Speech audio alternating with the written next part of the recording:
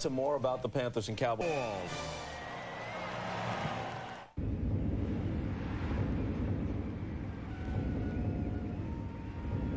I've been waiting all day for this.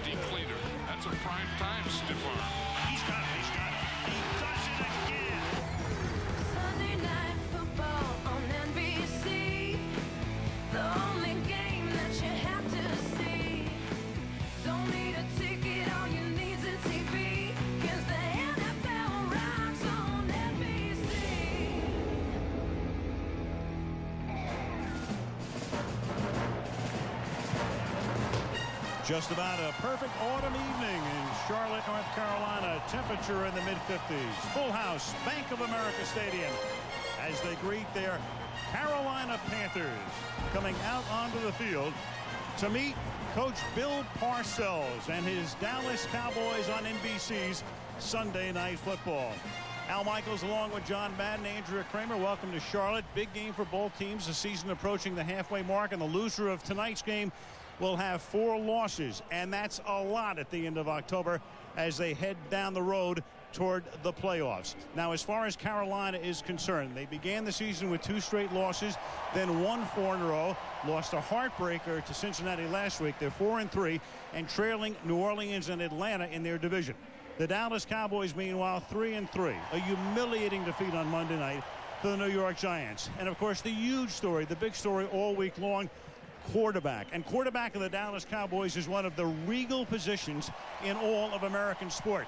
John, they make the change. It's more than changing Drew Bledsoe for Tony Romo. It's more than changing the experience of Bledsoe and exchanging it for Romo's mobility. How do you see the bigger picture here?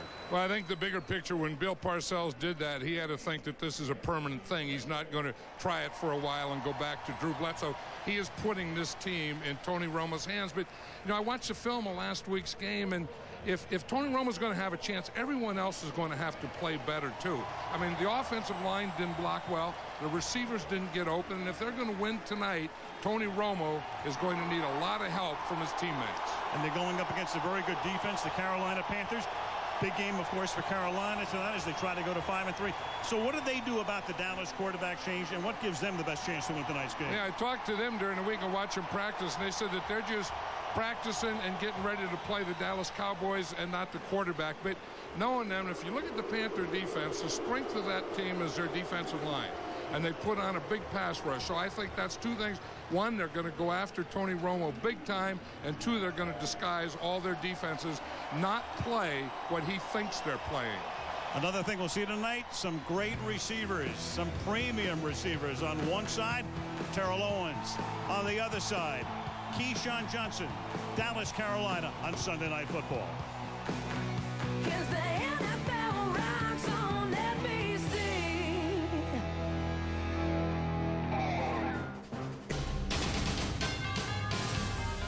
NBC Sports welcomes you to the following presentation of the National Football League.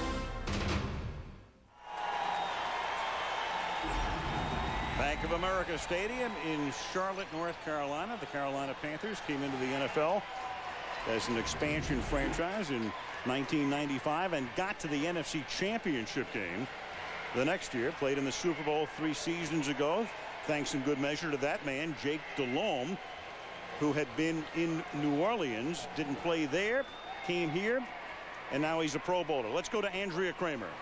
Well, I walked off the field with Tony Romo after the pregame warm-ups. I said, what's going through your mind?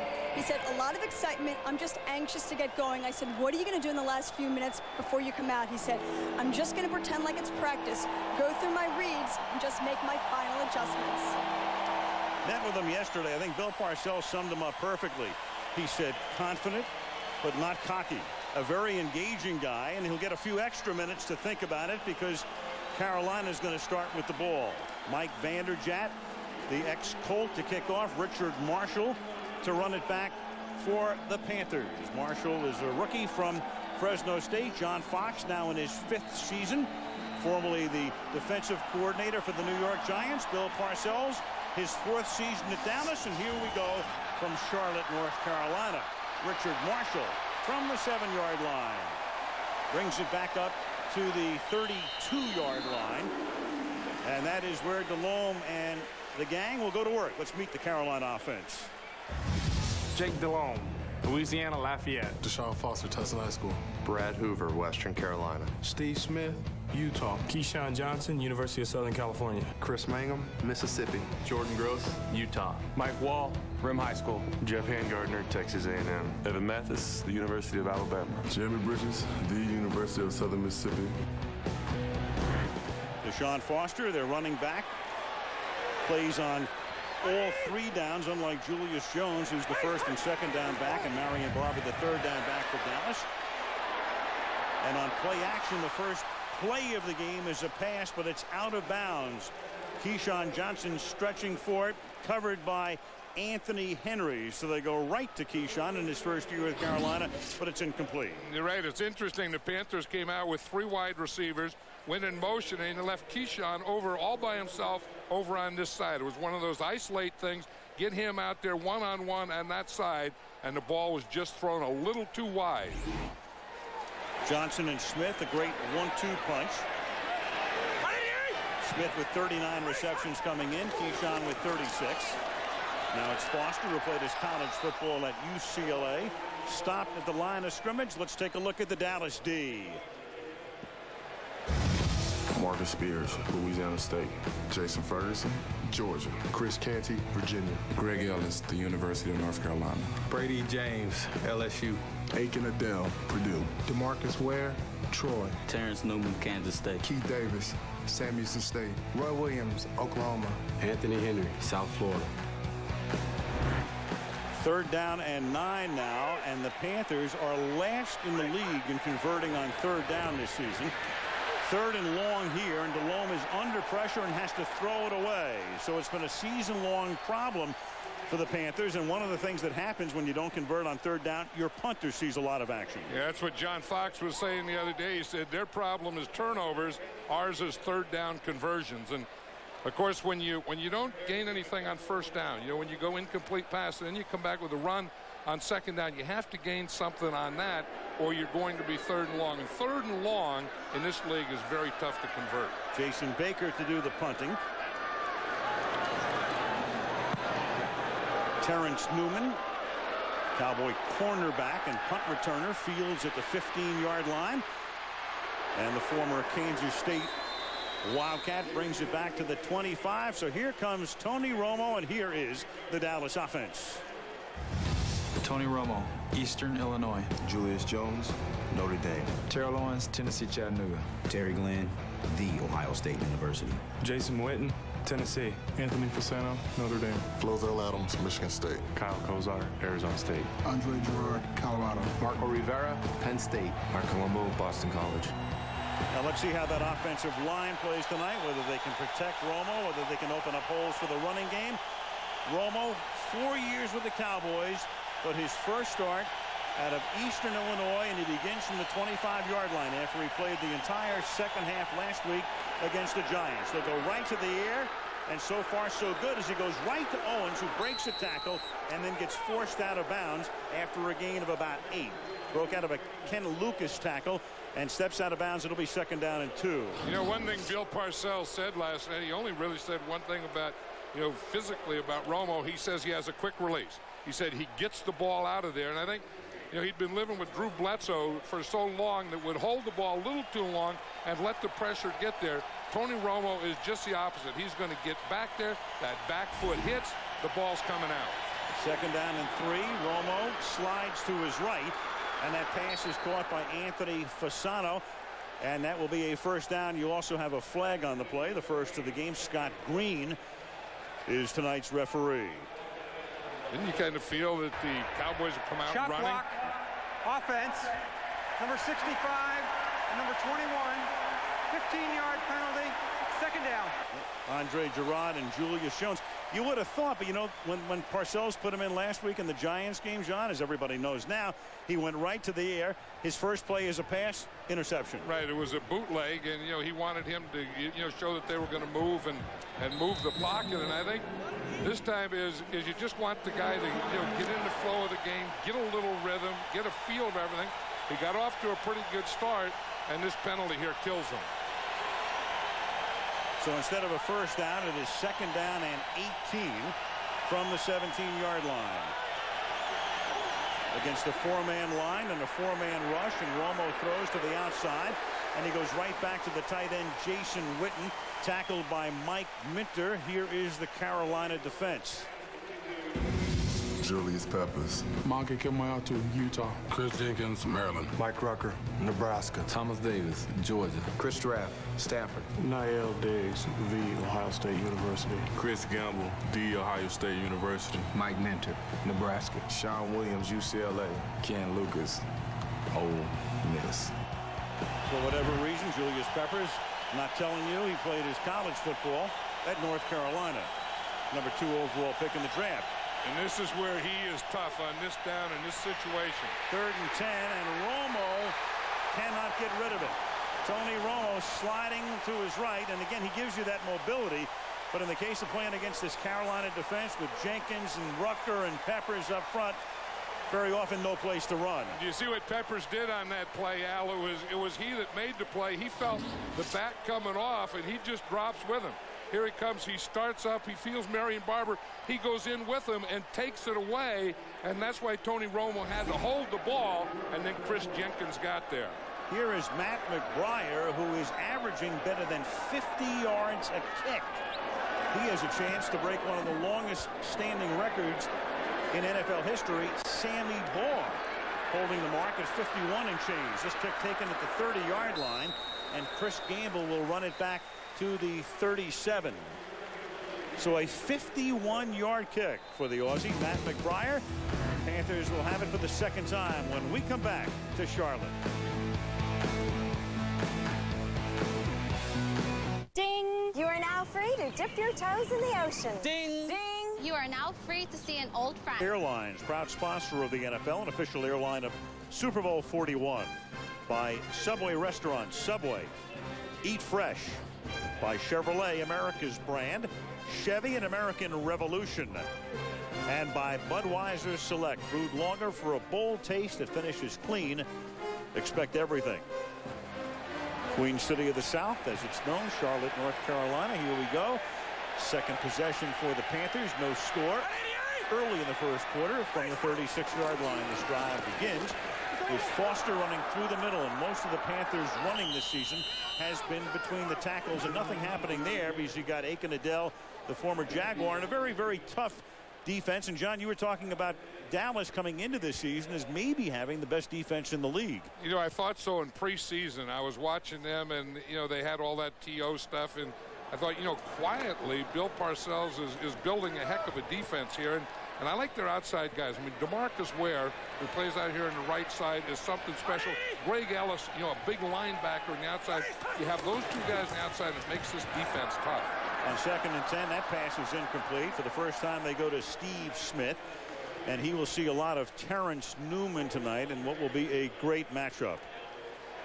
Yeah, Terrence Newman is going to go wherever Steve Smith goes. Now, that doesn't mean that he'll always be man-to-man. -man. I mean, sometimes he's going to have help deep. He's going to have the safety over the top. He's going to have a linebacker coming out there because Terrence Newman is a good corner, but I'll say this, no one can cover Steve Smith man-to-man -man by himself without help. Talked about the problems that Carolina's had on third down. There it is when your quarterback is averaging 33 a 33 rating on third down, you're not going to convert very often.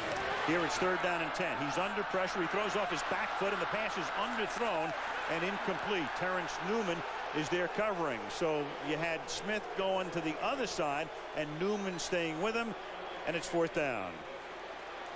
Yeah, what the Cowboys did, they pressured him on that one, but, you know, you're, you're, going to see the pressure coming from the, the right side up there. Roy Williams, the safety, gets up there and comes, but they still have have the, the receiver double deep.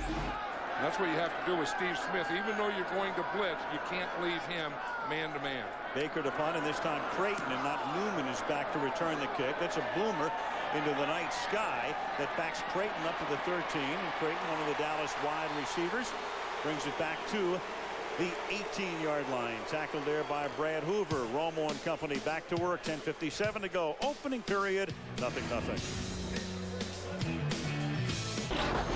He's a two-time NFL MVP. He's a two-time Super Bowl MVP. They meet next week on Sunday Night Football. And if you didn't hear about it, take a look at those numbers. Peyton Manning, three touchdowns, 32 of 39 against a Denver defense that had allowed only two touchdowns in six games. Indy goes into next week's game undefeated, beats Denver 34 31. Now Dallas and Romo's able to back off. You almost had the fullback moving, but Oliver Hoyte gets reset. Then they give the ball to Julius Jones, and Julius Jones takes it out to the 31. Julius had a huge day last year against Carolina, and his first run of tonight's game is out to the 31-yard line for a gain of 13.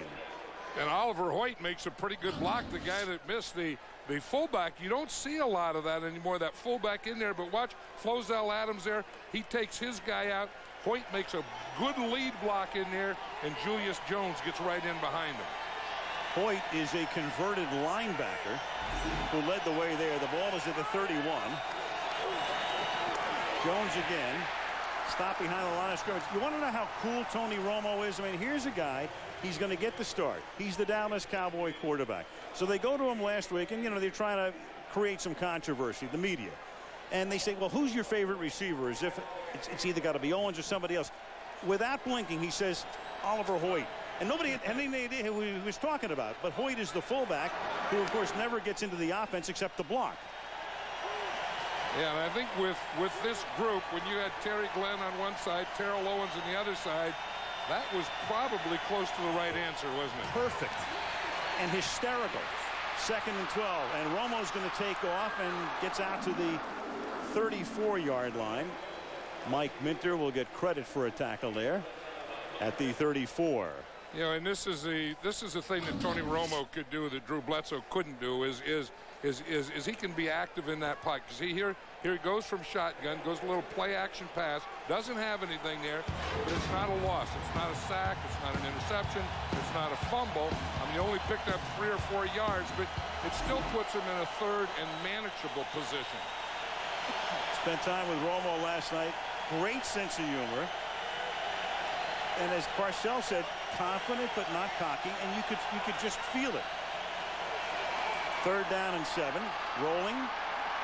Going to run again. He's going to pick up the first down. Knew exactly where he had to go and then goes down at the 43-yard line. And again, you talk about the mobility, and it's a lot more than the experience of Bledsoe for the mobility of Romo, but that's the type of thing he can do for you. You know, and you talk about the Panthers, you know, not having success on third down. If you're going to have success on third down, about three or four times a game, your quarterback has to run and get you a first down. See, Julius Peppers went to the other side that time. He usually plays on the left defensive side. That time he was on the right defensive side. I think Tony Romo felt he wasn't there. I'm going to go to that side now. He gets nine on the third and seven. Quickly to Owens, and Owens gets by Gamble into Carolina territory and finally run out of bounds by Minter at the 33-yard line. So Terrell Owens makes the catch, and as he's done for years now, 11 of them, in fact, a lot of yardage after the catch. You know, and that's that's the thing with Terrell Owens. I mean, a lot of people think you're a big play guy throwing the ball deep. All you have to do is get the ball in his hands because he's a playmaker. These are the types of things that he can do to run after the catch. I mean, he's a big guy. It doesn't have to be a deep pass. He can make a big play out of a short pass. Caught that at the line of scrimmage and turned it into a 25-yard gain. He's caught two tonight, halfway through the period. A little toss back to Jones, who's going to try to cut it back. And Jones takes it to the 30-yard line for a gain of two. So Romo takes over, and of course for the Cowboys, Troy Aikman went into the Hall of Fame this year, but since Aikman retired in 2000, you go back to the 2001 season. Carter, Bledsoe, Testaverde, Hutchinson, Ryan Leaf, Wright, Stoerner, Henson, and now Romo. That's nine starting quarterbacks since number eight hung it up, and doesn't Jerry Jones know that all too well? Yeah, because Jerry Jones knows that since Troy Aikman, if you have nine, that meant you had none. I mean, you didn't have the one guy. I mean, when Troy was there, he was the guy, and after he left, you never got the guy again. Second down and eight. Romo. And that pass is out of bounds. Owens was covered well, and Ken Lucas wants a flag for offensive interference on Owens. He won't get that, but it's incomplete, and it's third down and eight. Owens probably did push Lucas or something because you wonder what Terrell Owens was doing that close to the sideline anyway. You see, when he takes the outside release here, he doesn't give Romo anything to throw to. I mean, he just runs out of bounds. I mean, he didn't do anything to Lucas, but that was a poor pattern by Terrell Owens. I mean, he's a better player than that. He knows that you can't be the outside guy and be forced out of bounds. First incompletion. Romo is three of his first four, and he has two runs. It's third down and eight. And the play clock was ticking all the way down, so Romo is going to take a timeout. Timeout, third and eight upcoming from the 30-yard line in Charlotte. No score.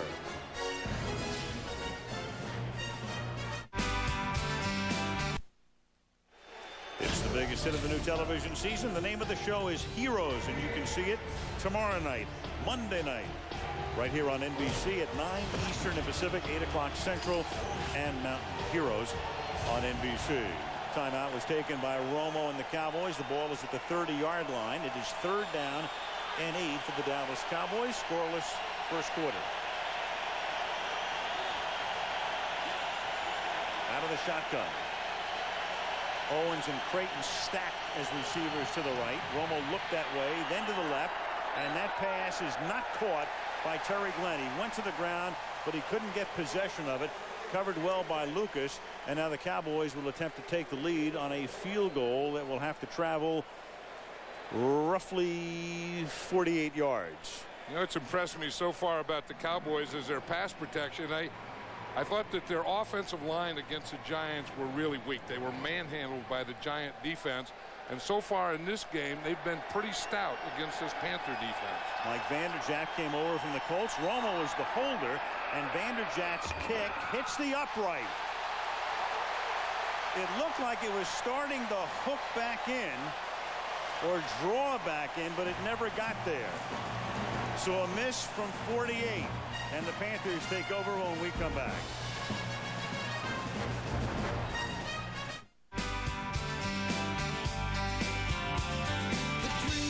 Football is being brought to you by Chevrolet, America's brand, Chevy, and American Revolution. So Carolina takes over 38-yard line where the ball was spotted for the missed kick by Vanderjagt. First down. Jake Delhomme, the quarterback, from the 38. Delhomme, slant, winds up hitting Steve Smith for a gain of eight. Covered there by Terrence Newman. Again, a look at Vanderjagt. It started to draw, but hits the upright.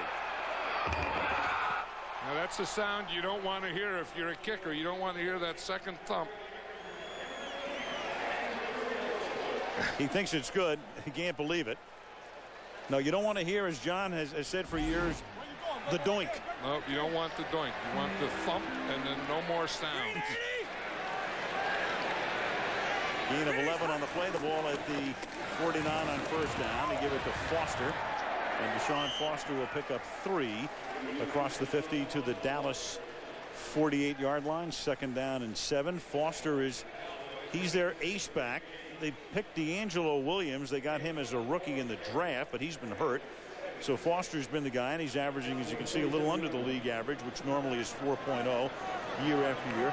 He's a 3-8. You know, and I think you know that can go to the third down. You know, you say that the Panthers have been haven't been successful on third downs, but they haven't been successful on first and second a lot of the time either, and they leave themselves in third and long. On second down and six now, Delhomme will throw. That is caught near side, and that is Michael Gaines fighting for the extra yardage before he's finally taken down by Ware. So Michael Gaines in his third year out of Central Florida, seventh round pick back in 04 makes his first catch and the ball to the 37 yard line. Well, you see Greg Ellis there is on the tight end Mike Gaines. He's the outside linebacker and he's just playing him man to man. Now what they did is they put their fullback, they put Brad Hoover to the outside. So what that did is that left Greg Ellis, the the strong side linebacker, man to man on Michael Gaines. Gaines is 6'3", 280. So lineman size, tough to bring down. Ball at the 37. Delhomme buying a ton of time with the fake, then has to throw underneath, and it's Foster who makes the catch and is ridden out of bounds just short of the first down by Brady James. You know, John, I'm looking at Jake Delhomme, and I'm thinking about Tony Romo in the sense that Delhomme is another of those guys who sat on the bench, who carried a clipboard, who didn't get to play in New Orleans. Then he gets traded, and he finally get the uh, got the opportunity, and clearly he's made the most of it. Yeah, and, and I think that's what Bill Parcells and the Cowboys are hoping is going to happen to Tony Romo. That you know they sit, they wait, they're undrafted, they're a free agent, and then they come on big. And maybe the the poster boy for all that could be Kurt Warner. Yeah, Warner's a perfect example. Jeff Hostetler was like that. That's enough for a first down. Trent Green was another guy who was around for a long time before he finally got his opportunity. Right, and when you when you have that situation, that's always what you're hoping for. I mean, you're hoping to get, you know, the Jake Delhomme, and uh, you know, and you forget what a good quarterback he is. You know, and just remember, just a few Super Bowls ago against the Patriots, I thought that if Jake Delhomme would have gotten the ball again, the Panthers would have won that game. I thought the last team that had the ball was going to win that Super Bowl. And it turned out to be the Patriots. Now Delhomme's going to throw for Johnson, and Johnson will draw the penalty. That was Anthony Henry who was beaten on the play, and the only way he could stop him was illegally. Yeah, it looked like Anthony Henry knew that. I mean, that was that was one of the matchups. You know, we talked about how Terrence Newman is going to play against Steve Smith. Defense, number 42. Ball will be spotted at the spot of the foul. First and goal. So that means that Anthony Henry is going to play the other side against Keyshawn Johnson. And Keyshawn gives him a double move. He's going to give him an out move there. And it looks like he looked like he thought he was going to the outside. He expected him to run a short pattern. He took a peek to the outside. Keyshawn goes by him. And the only thing he could do is grab him. 20-yard penalty. The ball is at the seven. It's first down and goal. The fake to Foster. Then the pass to Foster, which he makes off his shoe tops. And he's out of bounds. DeMarcus Ware thrusts him out of bounds at about the two-yard line. It'll be second down and goal. Yeah, Brad Hoover, the, the, the fullback I circled, he lined up wide. Now, what they do is they want to see what, what the defense is, so they put a fullback out here. Now, if a defensive back stays on him, that means it's going to be zone. If a linebacker comes out and plays on him, then that means it's going to be man-to-man. -man. Now, they just put him out there just to check the coverage. It doesn't mean they're going to throw it to that guy. That's going to tell him what the coverage is. They spotted him out of bounds inside the one. Second down and goal. And they give it to Foster. And Foster tries to bull his way in. Touchdown. Only needed about 30 inches, and he got him. Well, I think he got about 10 initially, and then he got to 20 on the second effort. Keyshawn made that big play in the pass interference. You're going to see Hoover lead right through. Now, right there, he doesn't have anything yet, but on that second effort right there was when he got those last 20 inches. You know, for a primary running back, he doesn't visit the end zone that much. He's carried the ball now 509 times in his career. That's only his sixth touchdown. And John Kasay, who was one of the original Panthers when they came into the league in 95 for the extra point. So a 62-yard march after the missed Vanderjagt field goal, 7-0 Panthers.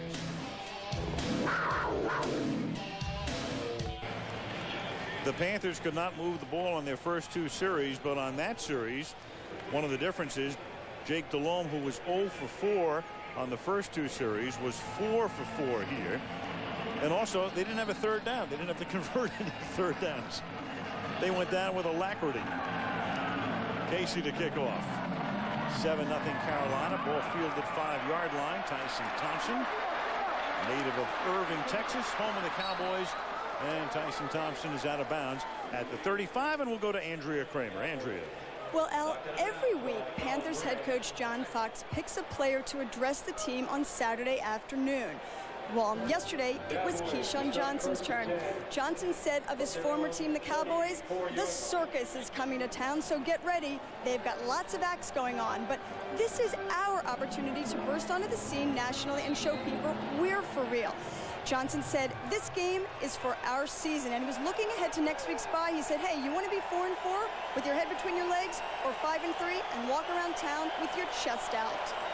And there's a big difference because right now they're in third place in a tough division, trailing New Orleans, which lost today, and Atlanta, which won today at Cincinnati. And Romo throws, and Witten makes the catch, and there's a flag down. So for the moment, a first down. You know, I'm thinking, John, as a coach, and you can relate to this, you tell a guy each week, I'm going to pick a guy to make a speech. Holding.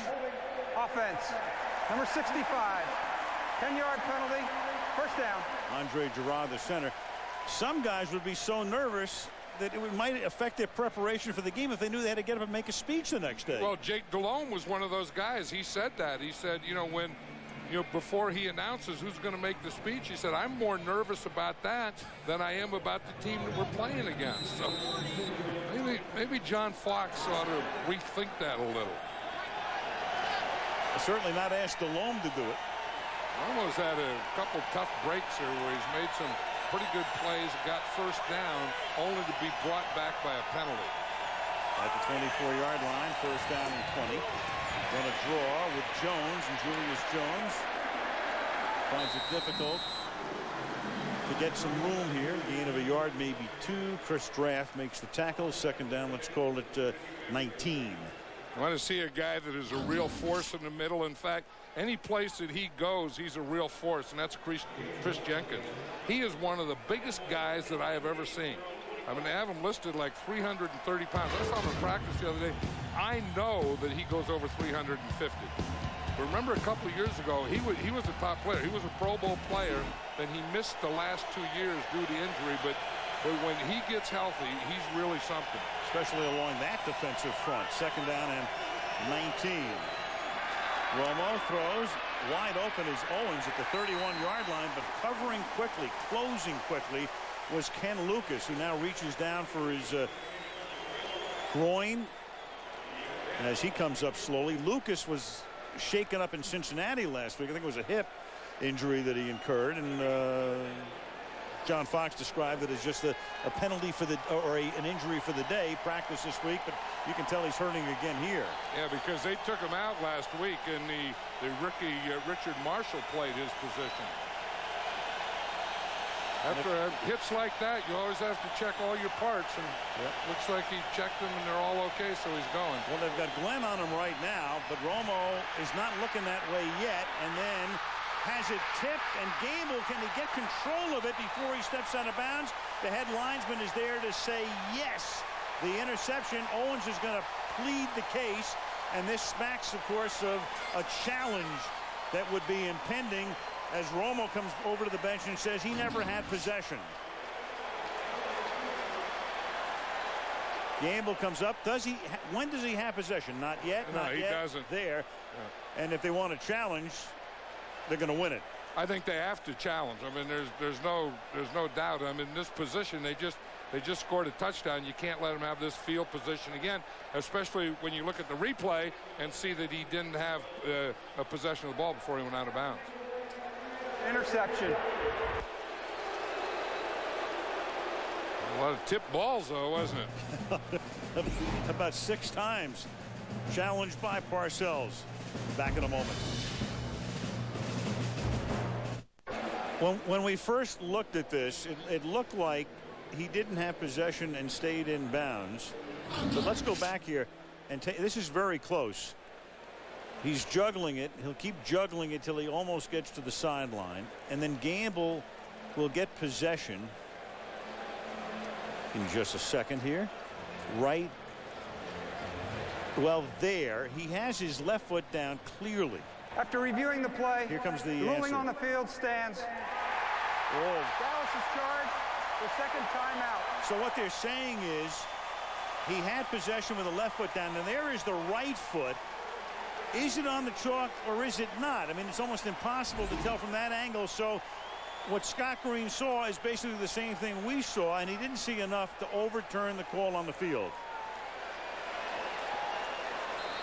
You know, when you looked at that thing live, though, it, it really looked like he was out of bounds and didn't have control of it. Then when you you break it down and you you slow it down and then you stop it, you can see that know, likely he did have both feet in. So now from the 24, they run Smith on an end around, and he'll get inside the 10 and go all the way to the end zone for the touchdown.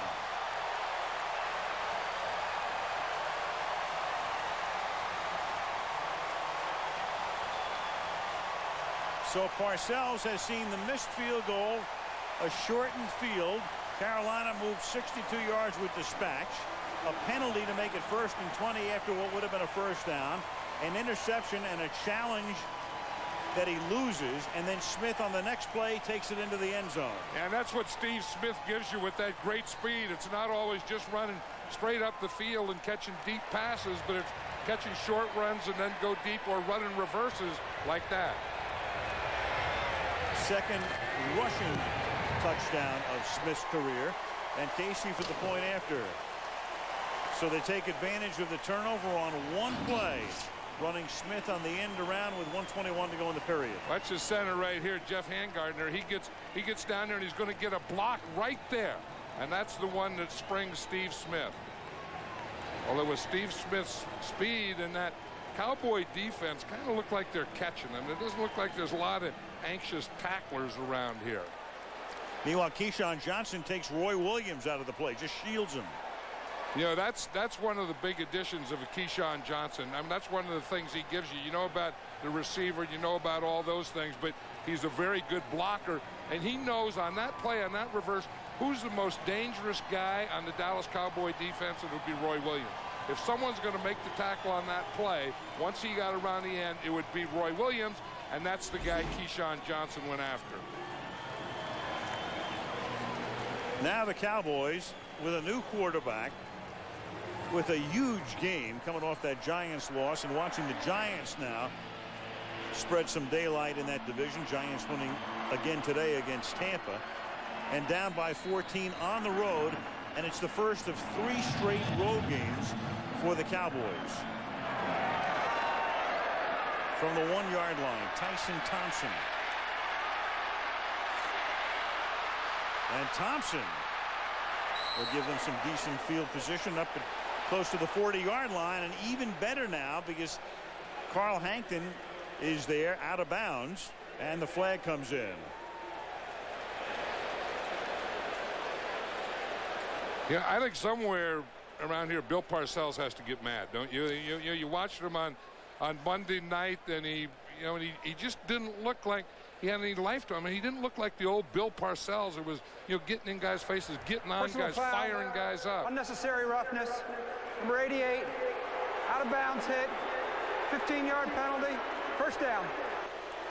I mean, he looked the other night, last Monday. I mean, it was like a combination of disconsolate, aggravated, frustrated. Yeah, and that's not the Bill Parcells that we've that we've known over the years. I mean, I think I, I think you have to get a little fire in you, and I think he's trying to. He said last week after Monday night's game, he got 10 calls from ex-players and coaches and guys that he's been with saying, hey, you're not you anymore. Get back to who you are. Maybe the best word to describe the way he looked last week was exasperated. Here's Jones. And Jones will pick up a first down to the 36-yard line. And, and, people close to, to Parcells have, have talked to him. And, you know, it's funny. Bill last night, he does not pass the buck. He said to us last night, he said, I'm upset with myself over where we are. He said, this game, football, tells you who you are. He said last week's game told me, Parcells, you're bad. Yeah, and, and he was bad, and they were bad. I mean, I watched a film of that game, and the, and the Giants not only beat him, they whipped him and manhandled him. Jones gets taken down on the first down play. Julius Peppers right there for the tackle. I think sometimes, you know, that whole Drew Bledsoe and Tony Romo thing kind of camouflages some stuff and disguises it when maybe maybe it wasn't all about just Drew Bledsoe. Maybe the the line didn't block. In fact, not maybe. I know they didn't block. I watched them. The receivers didn't work. They didn't get open. They you know they didn't get the running game going. So you can't put a quarterback out there all by himself and expect him to do it. Strahan and Arrington each with a sack in the first quarter, totally unblocked. That's the end of the first quarter in Charlotte with a score. The Carolina Panthers 14, the Dallas Cowboys nothing. And Sunday Night Football resumes after these messages.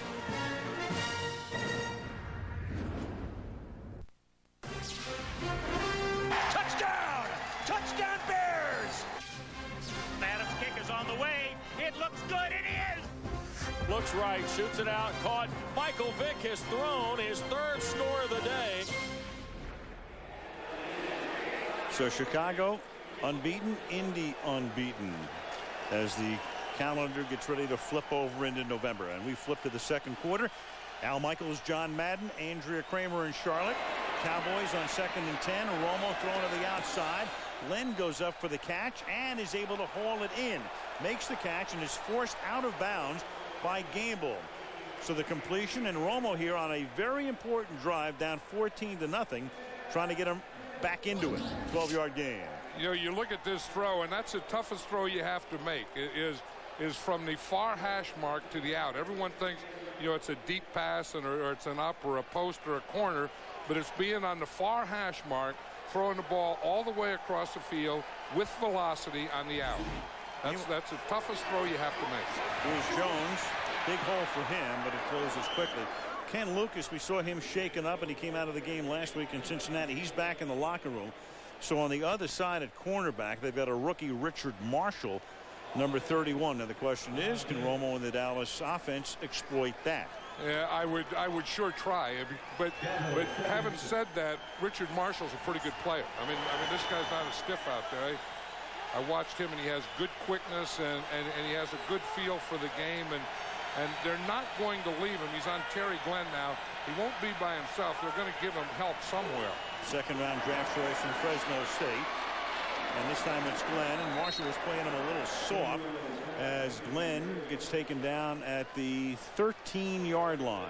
And I think anytime you see a corner go out and then you know that backup come in, you go to work on him. Then when that backup is a rookie, you know you want to test him out, and that's exactly what they did.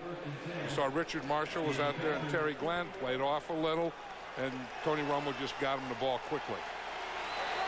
First and 10, 13-yard line. Romo is 6 out of 9 for 65 yards. He's also run twice for 14. He gives him that extra dimension with his mobility. Here they give it to Jones. Jones over the left side for a gain of three behind an Oliver Hoyte block. And it'll be second down and let's call it six. They'll spot at the nine-yard line.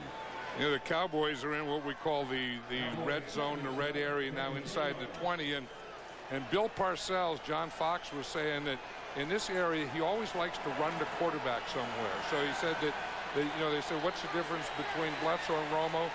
They always expect quarterback run inside the 20. With Tony Romo, they expect it more. Second down, make it seven. They'll spot the ball at the 10-yard line. Romo throws over the middle, hits Owens, and Owens will pick up the first down. He gets wrestled down by Gamble.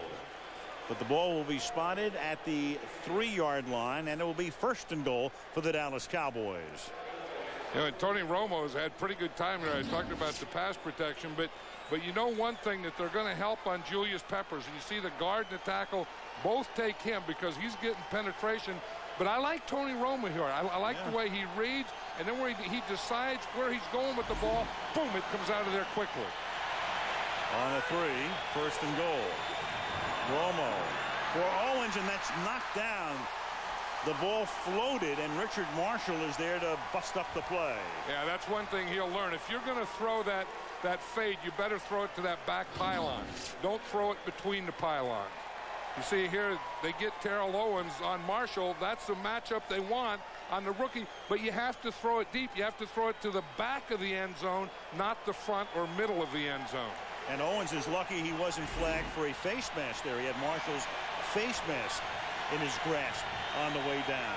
Second down and goal. You've got Glenn in the slot, Witten split to the left, and Owens at the top of the screen to the right.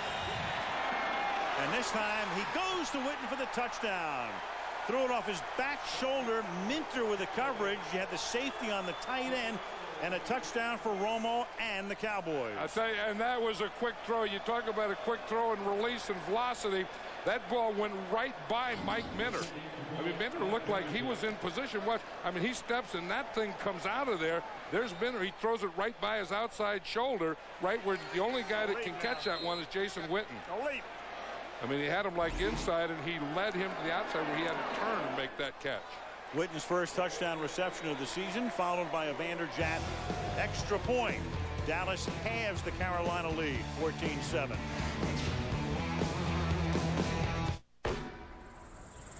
By GM.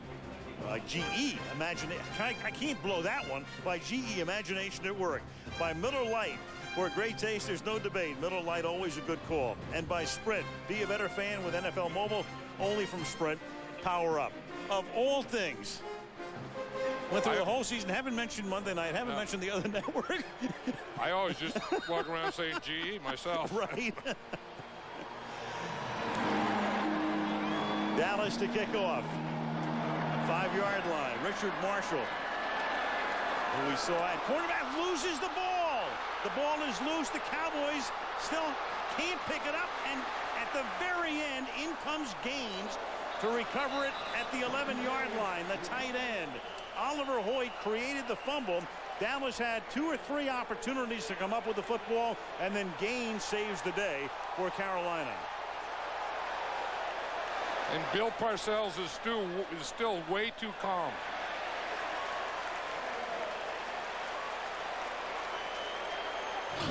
Although he wants to see it again and say, what the heck happened? I mean, Marshall is going to learn. You know, we talked about his being a rookie. You're going to learn to put that thing away to protect the ball. You can't leave it hanging out there. And then if you ever have a chance to jump, I mean, you just got to jump on it and just smother the thing.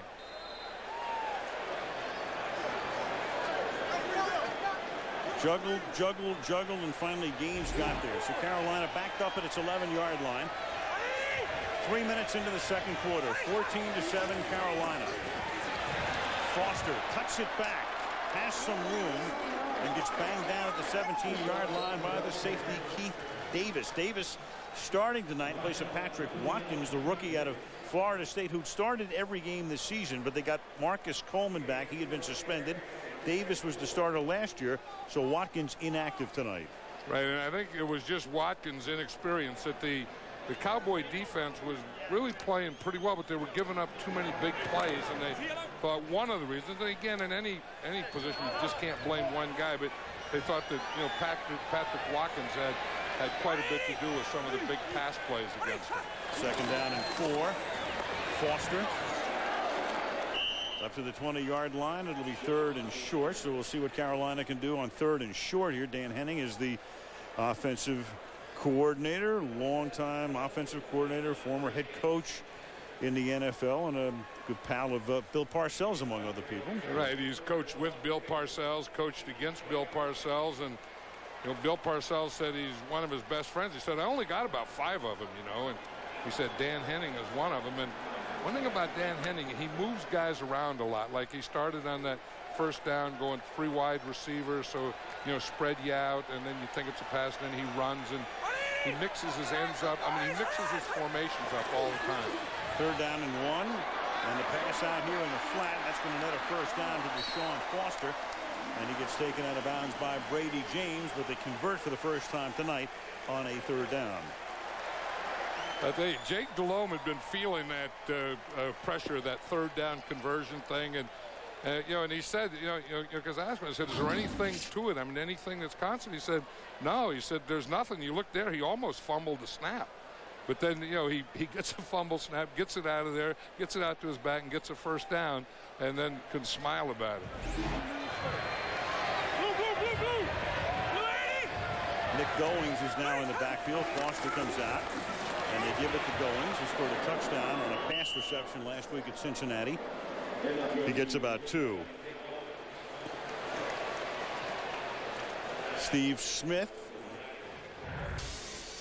Last year, I mean, he did something that uh, sort of got under the radar, but it doesn't happen very often. Tied for the league lead in receptions, led the league in receiving yards, led the league in touchdown receptions. Hadn't happened since our man Sterling Sharpe did it with the Packers in 92, and before that, Jerry Rice in 90, and that's the only time, the only three times it's happened since 1970, since the merger. Pressure, and down he goes in the arms of Greg Ellis. And Ellis tries to extract the ball, but the play is whistled dead.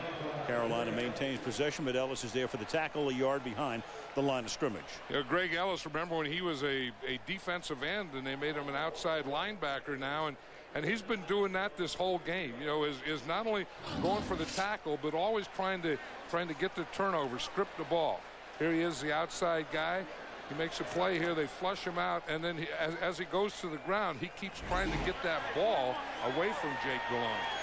Even though, even though, even though Delhomme was running for the moment, they they do credit him with a sack, and Delhomme now on third down and nine, and that is caught by Kris Mangum, the tight end, and that will be a first down up at the 45-yard line. So all of a sudden, back-to-back conversions here for Carolina, and they move the ball on a drive that started at the 11 out toward the 46-yard line. Yeah, had good protection here. And watch the right side. Once you start a stunt like that and you get caught or blocked, that gives the quarterback a lot more time, and it also gives him that side, the right side, to throw the ball. You know, sometimes when you run a, a, a stunt with a tackle in the end cross, you know, it's a good-looking thing, and the guy breaks loose. But if you stone him on the line like that, I'll tell you, that is an ugly-looking pass rush. Delhomme has completed his last six attempts. They've got Foster back in here. And he won't go very far. Taken down at the 48-yard line. Marcus Spears, the first guy to handle him. Yeah, if you just look at that Dallas defense, you see they're playing so much cover two where they have their safeties real deep, and that's all about Steve Smith. So when they have those safeties deep, then that means that they only have seven guys up in front. And what Dan Henning is trying to do is run the ball, throw the short passes to get them out of that cover two. Smith to the right side. You've got Newman. Newman only giving him about two yards bottom of the screen right there. That's the matchup most of the night. Second down and eight.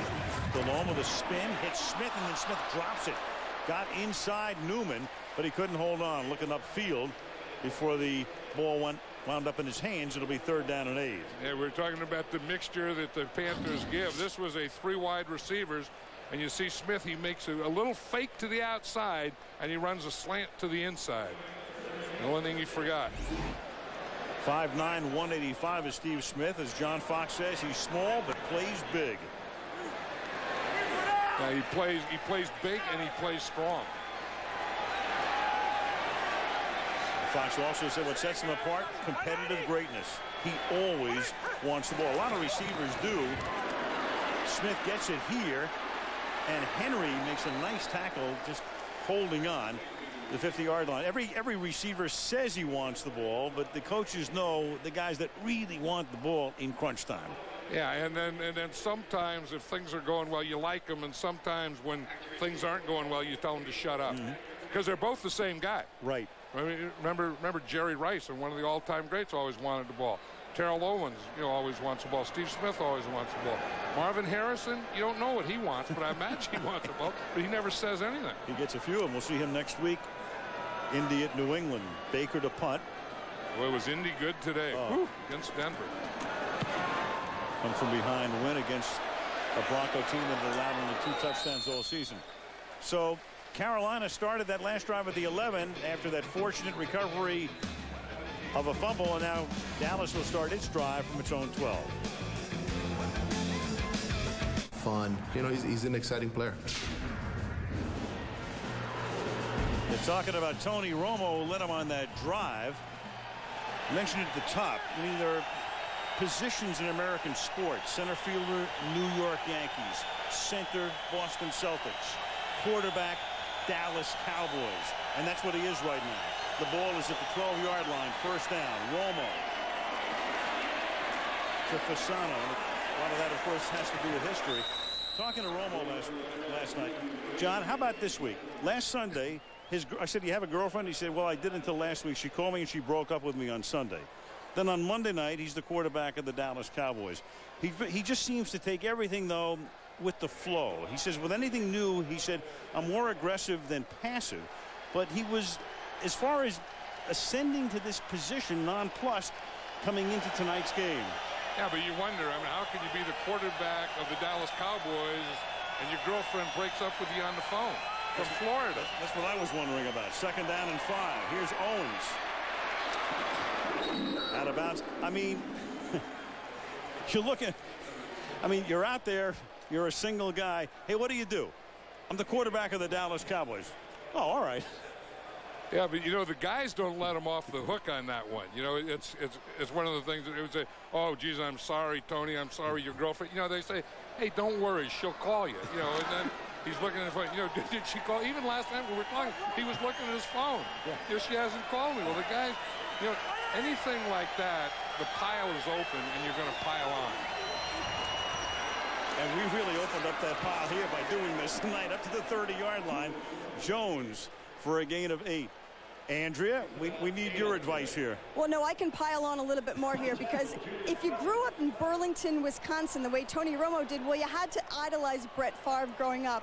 Well, Marco Rivera, the uh, the Panthers, the uh, Cowboys guard, spent nine years in Green Bay with Favre. So the minute he got to Dallas last year, Romo just peppered him with questions about his idol. What kind of guy is he? What does he like to do? How does he act in the huddle?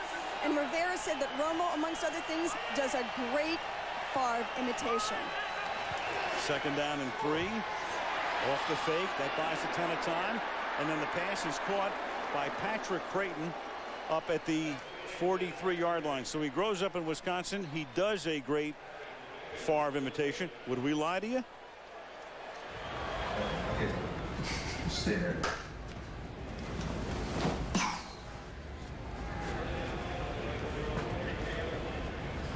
Chip, almost had me there, Chip. Didn't have him. Come on, Chip. All right.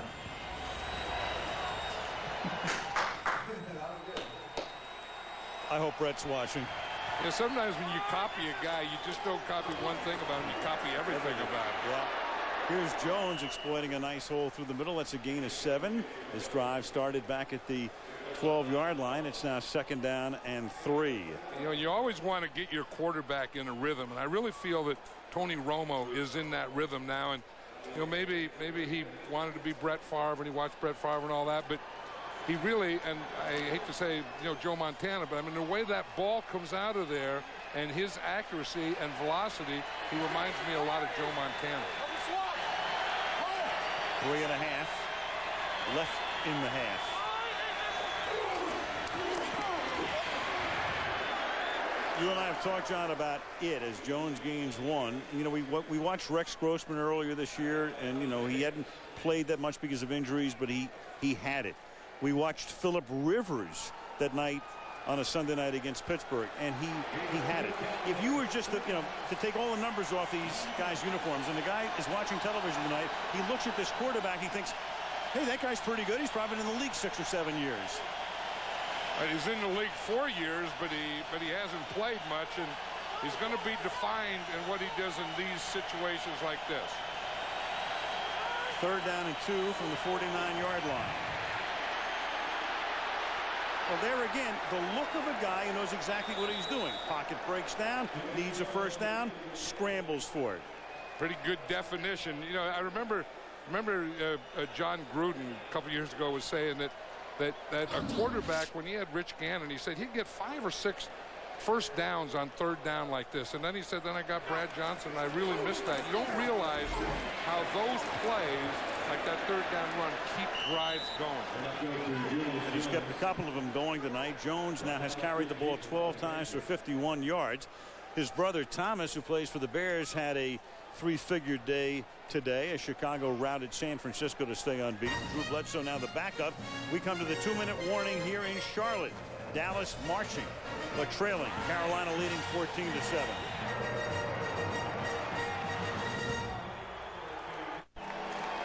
There are some athletes who always know where the camera is. Terrell Owens has never met a sky camera he didn't love. I think the greatest I ever saw was Reggie Jackson. Reggie always knew where the camera was. And nothing's changed with Reggie either, no, you know. Absolutely. Reggie can still find it. If he knew you had a good graphic about him, he would step out of the batter's box thinking, I know they're putting this up there right now. Second down and seven. The ball is at the 43-yard line. Two minutes to play in the half. Pick up the blitz. Romo going for Owens, but that is on the chalk out of bounds. And it will be Richard Marshall and Mike Minter covering on the play. Third down and seven. Yeah, they tried to get Terrell Owens on Marshall, the rookie, but again, Terrell Owens made that same mistake that he made before. He's too close to the sideline. And when you run and up, you have to give your quarterback, see his outside release. He gets too close, and he doesn't give the quarterback any place to throw the ball. In fact, he's running out of bounds. And that's the second time he's done that in this half, and he knows better than that. Third and seven. Romo stepping up in the pocket and then hits Witten. And Witten will take the ball to the 30-yard line. So the tight end, Jason Witten, has been a, a big factor tonight for the Dallas Cowboys. That's a 14-yard gain. You know, and that's what the Cowboys are doing that they didn't do Monday night is is if they're giving you double coverage in the outside, if they're doing all their coverages to the outside, then work the inside, work the middle, work Witten. You know, you know maybe get Terrell Owens in the slot and work him in the middle because they're really pressing or taking away those outside deep patterns. Third catch for Witten, and he has scored the only Dallas touchdown. First down here, and they're going to give the ball to Terry Glenn, but that is sniffed out beautifully by the Panthers. You had five black shirts there, led by Richard Marshall, the rookie corner. Yeah, they didn't have Keyshawn Johnson in there blocking the most dangerous defensive back, and maybe they didn't have Steve Smith running it either because that was the exact same play that the Panthers scored on with Steve Smith. Dallas only has one timeout. They had to take a timeout, then they lost a timeout on the unsuccessful challenge. Clock ticking down to 45 seconds. Second and 13. Romo down the left sideline, and that one is out of bounds, intended for Terry Glenn. And again, the coverage is very good. And there's Marshall, the rookie, telling the 11-year guy, Glenn, I had you all the way. Well, yeah, but uh, I mean, I mean, Glenn again is too close to the sideline. I mean, you, you can't do that. Watch him. They get the inside technique, force him to the outside. Now, where's Tony Romo going to throw that ball? If he does catch it, he's going to be out of bounds anyway. That, I thought that was a bad call. I mean, they if they could get about a you know five or six or seven or eight yard play on that second down, they would be in better field goal range. But I don't think that they had to do that on second down. Those are two bad ups in a row. Right now that field goal range is 50 yards if they don't gain a yard here, but they will. And will not get the first down, though, though Glenn does get out of bounds at the 21-yard line. So with a half a minute to go, you've got a fourth down and one. So does Parcells go for a field goal here of about 37 or 38 yards to make it a four-point game? And that is apparently what he is going to do because yeah. he sends Vanderjagt out onto the field. Yeah, he has fourth down. He has to kick the ball. I think if it were if it were third down, it would be an interesting thing. I mean, do you you know go get the first down and then you just try and get a first down and you throw it in the end zone? But I think on fourth down, Bill Parcells did what he had to do. Vanderjagt earlier missed the 48. And this one, you've got a timeout here. You've got Marshall and Peppers coming in. Peppers known for kick blocking, but Carolina had taken a timeout. John Fox, the coach, called it. He ran down and he took the timeout before the ball was snapped. So That's going to be an advantage Cowboys. Wow, there goes the block kick. He calls the timeout. It is granted. The rule went in in 2004. There came Marshall from the outside, and you've got Peppers, number 90, who's a kick blocker extraordinaire who was there as well. But Vanderjagt will now get another opportunity because of Fox's timeout. I remember last week when Bill Cowher, the Steelers, called one, and then they made the field goal, but it didn't count, and then the next time they missed it, just the opposite happened here tonight. Here's a 38-yard attempt. And that one is right down Broadway for Vanderjagt. So the Dallas Cowboys, who had trailed 14 nothing, now make it a four-point game with 27 ticks left in the half. He's won six times, but he won the last one. They meet again on Sunday Night Football. And just so you know, the next two Sunday nights, Indy at New England, Bears at Giants on November 12th. Here's the kick, four-yard line. Richard Marshall, who fumbled the last time he ran a kickback. This time he secures it, takes it out to the 27. 19 seconds left. Bob Costas in New York. Bob. All right, Alan, here's the guy, Mr. Collinsworth, who's been saying since preseason Tony Romo should be the quarterback of the Cowboys. What's your first half report card? Hey, he's about to give me a heart attack. I can't imagine what he's doing to Bill Parcells, but he is playing better here lately. All right, more at halftime when we will unlatch the studio doors and let Jerome and Sterling in as well, Al. All right, guys. Romo 13 out of 19 for 124 yards and three rushes for 17 has his team back in the game after they were down 14 nothing. And now the Panthers will let Foster pretty much run out the clock here. But now Carolina will take a timeout and get in another play or two second and short. Timeout Panthers. Again setting the game up for you in terms of the standings Carolina coming in four and three in a tough division where New Orleans loses today, but Atlanta wins. So right now they're third in the NFC South. And of course, in the NFC East, you've got the Giants now winning again today.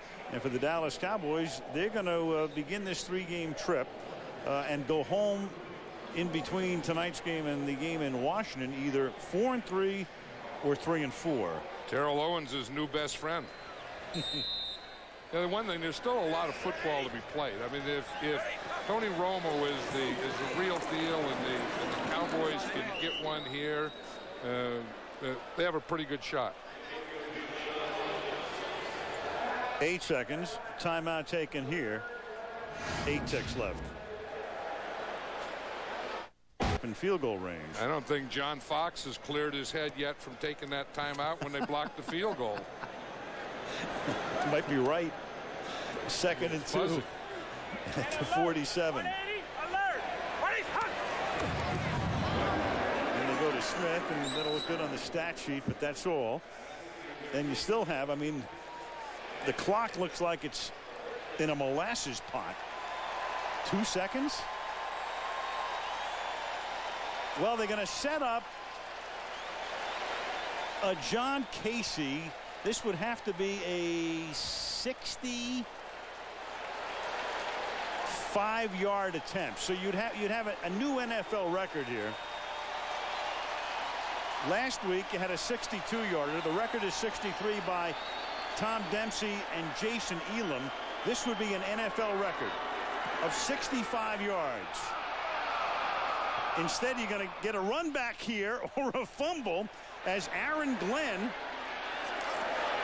and Bill Parcells' heart is in his throat right now. I, I, think he just wants to see Glenn just go down, which he does at the 13-yard line. That's what got Bill out of coaching in the first place. Good half, though, 14-10. Bob Cris Sterling in the bus. Toyota halftime show coming up from New York after this. 28 Emmy Awards. Thanksgiving, NFL Network. Is a touchdown. And the day didn't stop right there for Michael Vick. He comes back again, throws one to Justin Griffith. Big day for Michael Vick. He threw for three touchdowns. Meanwhile, Chicago was up 41-0 at halftime over San Francisco. This one to Desmond Clark from Rex Grossman, who recovered from that six turnover night at Arizona. The Bears are 7-0 for the first time since their Super Bowl season of 85. In Oakland, the Steelers had a chance, bust, but what happened? Oh, interception! Oh, my gosh. Ben Roethlisberger threw two picks for touchdowns. This one, Chris Carr, a 100-yard return. And Oakland wins despite being outgained 360 yards to just 98 four picks overall for Roethlisberger. His team is now two and five, and afterwards, there are his numbers for the day, and afterwards, here are the reactions of coach and QB. Well, I don't feel comfortable throwing four interceptions, but uh, you know that's that's one of those days that Ben had, and he's going to have to bounce back from it. Well, it starts with me. you know, I got to start playing better, and uh, right now I'm letting the whole team down. Our defense plays good, our O line plays good, our receivers do good, um, and it just seems like the you know one guy makes a mistake, and that's me. So I got to limit the mistakes, and um, hopefully we can get get back on track if I start playing better.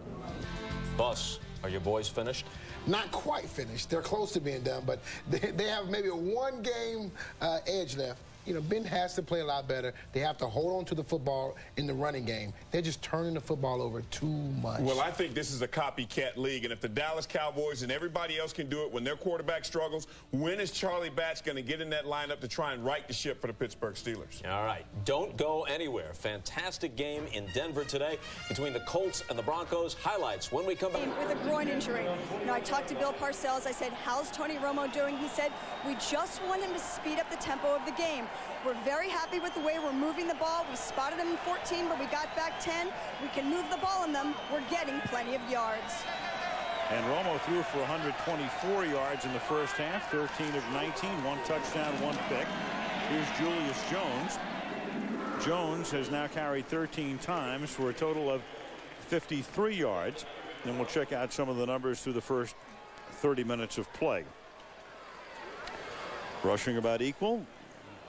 Dallas a little bit more through the air and in total yardage and the time of possession. Carolina, of course, was able to capitalize on the, the turnover, the interception, also the shorter field because of the Vanderjagt field goal for their two scores.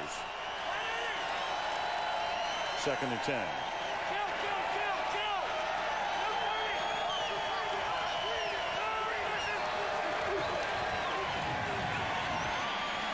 Romo stepping up. There's a flag. Owens makes the catch and with that spin move picks up the first down. But you saw the flag come in. Scott Green is the referee tonight. Tell you the penalties are really are really killing the Cowboys and Tony Romo Illegal because this will be the third 75 one. offense. 10 yard penalty. Second down. Marc Colombo trying to block Peppers, and, and all of them have negated big gains. Right, and good plays by Tony Romo. Here's Colombo right here against Peppers, and you see he has the, the right hand on the face mask. See, stuff like that happens in those in those trenches. I mean that that's that kind of thing happens all the time. I mean, poor old Marc Colombo, he's he's fighting for his life out there against Julius Peppers. That's why they keep the tight end on that side a lot too to to give him help in this situation. Second and 20. Romo hanging right in and guns it over the middle. Throws a strike to Terry Glenn, who's tackled by Mike Minter, but that's a gain of 21 and a first down for the Cowboys. Yeah, they've been they've been setting that play up where they where they move Terry Glenn around, and that time you see him, he came out of the backfield. And they had done that in the first half, but remember in the first half how they were trying to work those ups and stuff, and and and the Panthers are taking it away. So now they put Terry Glenn inside, put him in the backfield, run him out of the backfield on an inside pass route. That has to be there. They don't throw to their backs, but they will throw to a guy coming out of the backfield. Here is Jones chugging up to the 35 for a gain of three, second down and seven.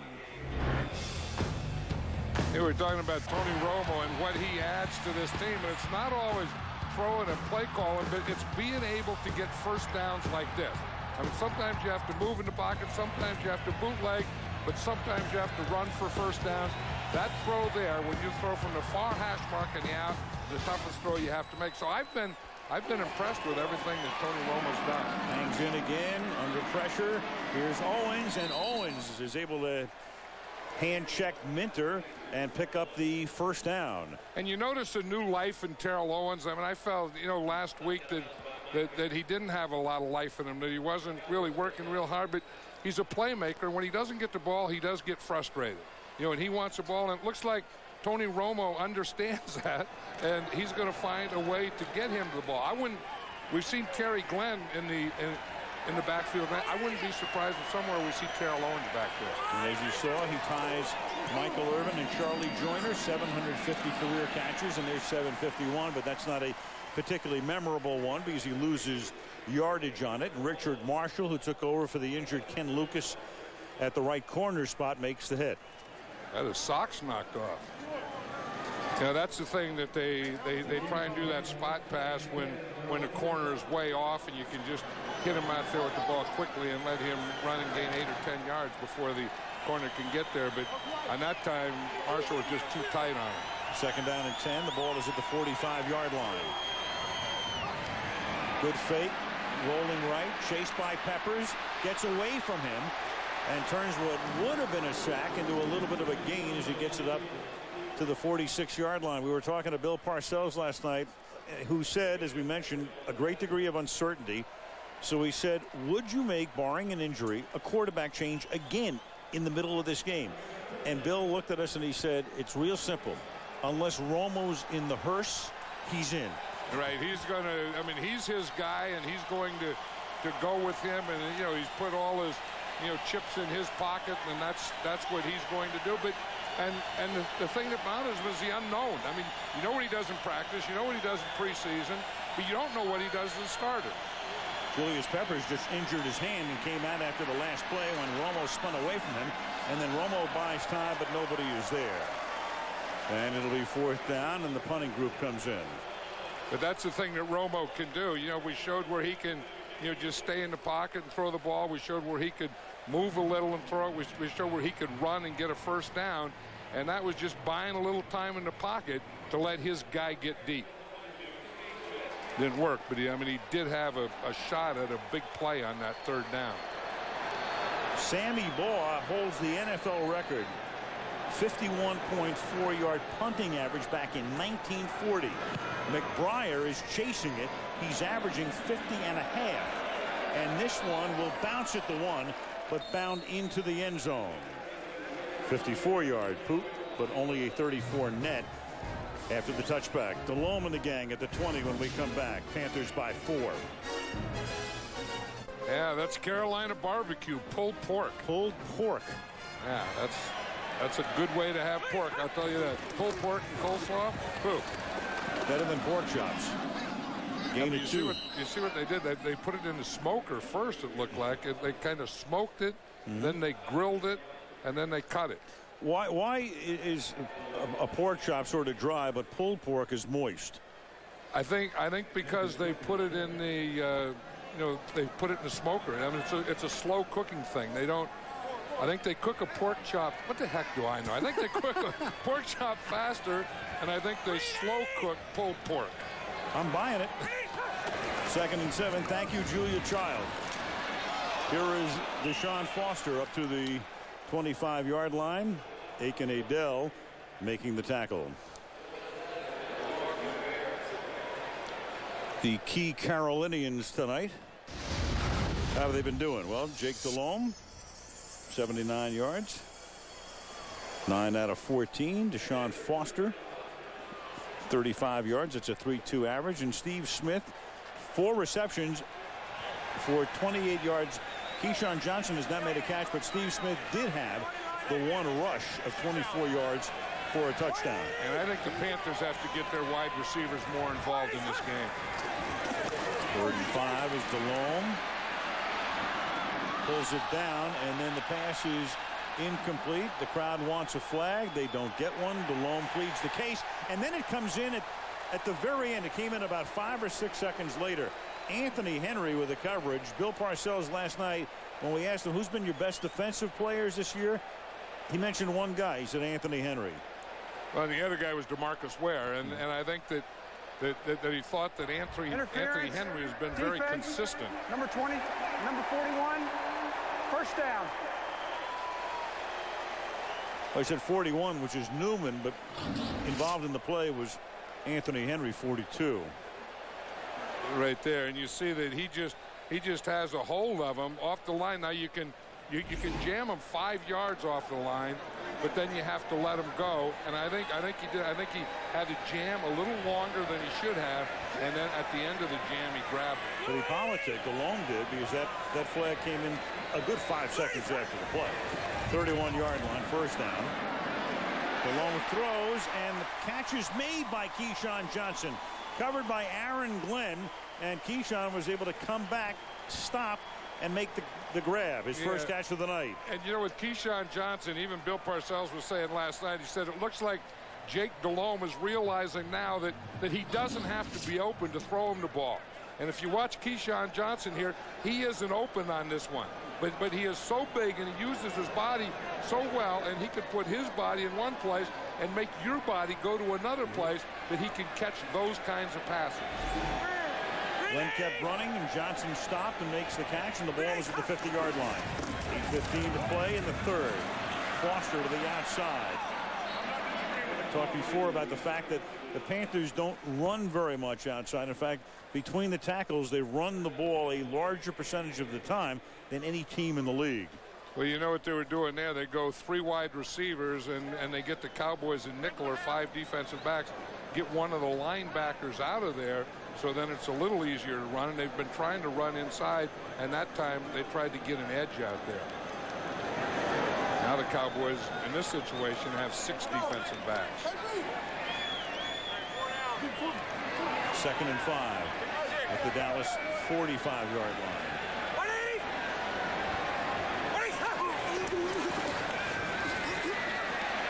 Four-man rush. They get to Delhomme, but he gets it off. And the pass intended for Keyshawn Johnson is incomplete with Terrence Newman covering on the play this time.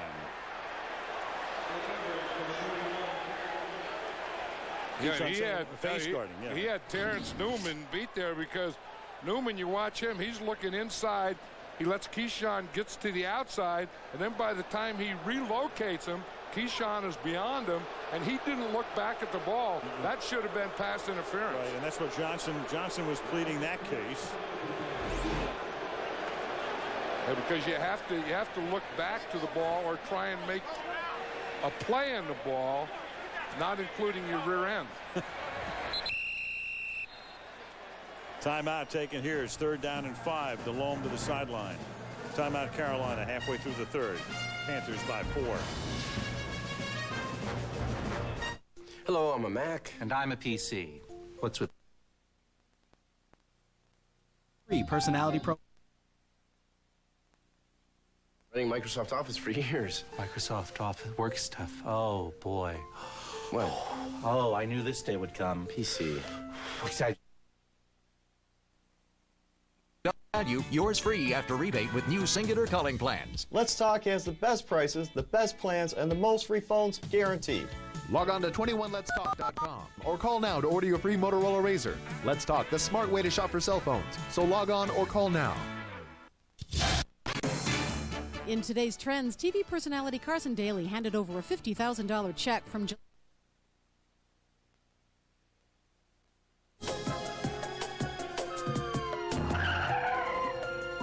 Too intelligent to be categorized. The RAV4 from Toyota.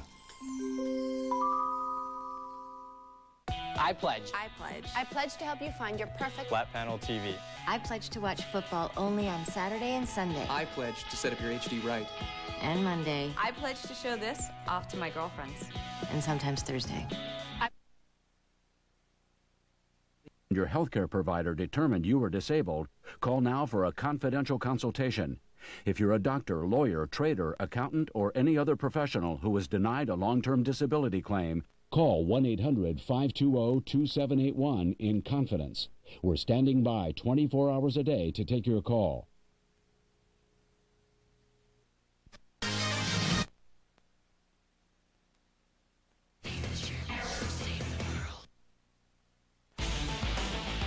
Next Sunday, 2.30 Eastern, just three races to go. The Chase hits the stretch run from Texas. You'll see Racing Tony Stewart winning today in Atlanta. Dale Earnhardt Jr. jumping up a couple of spots to four. Three races to go. Nextel Cup Racing from Texas. Panthers. Blitz on. Penalty flag thrown. Steve Smith can't get there. Penalty at the line of scrimmage. Yeah, that's been one constant for this Cowboy defense is they've been blitzing almost every third down against the Panthers.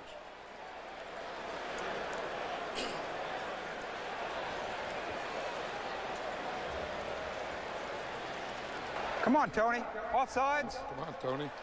Number 94, five-yard penalty. First down. It's DeMarcus Ware. And so instead of it being fourth down, here's a first down at the 40-yard line.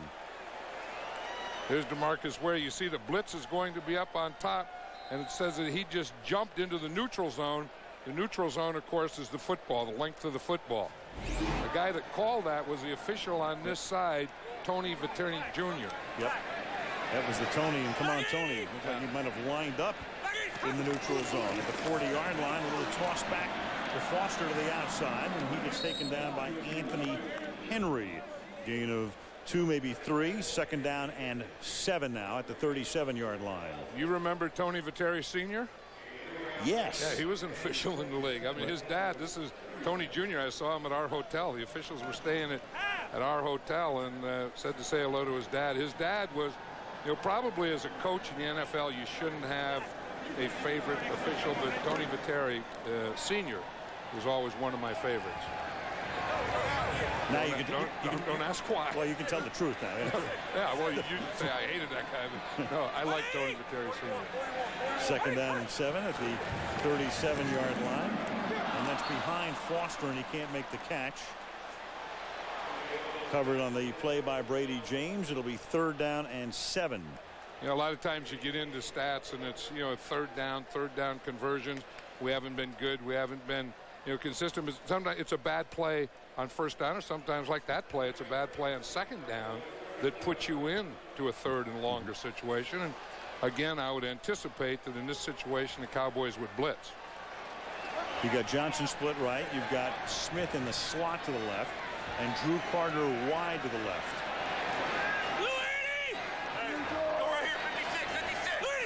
Will the Cowboys come? Yes, they do. Delhomme throws, and it's dropped. It's Keyshawn Johnson, who had beaten Anthony Henry. Clearly for a first down, maybe for a touchdown, and Keyshawn simply couldn't hold on to it. Yeah, they had the perfect play for the perfect situation. They knew the Cowboys were going to blitz. Here comes Roy Williams on the outside of the blitz. Keyshawn gets by his guy. The ball is perfectly thrown, and he drops it. I mean, those are the things that, as a coach, just drive you crazy. You know, you set it up, you set it up, you have the right play, you get it blocked up, and then you drop the ball. Beautiful little inside move to spring him. Now Jason Baker into punt. High floating kick. Fair caught 13-yard line by Patrick Crayton.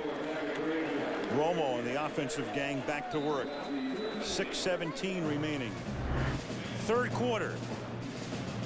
14 to 10 Carolina.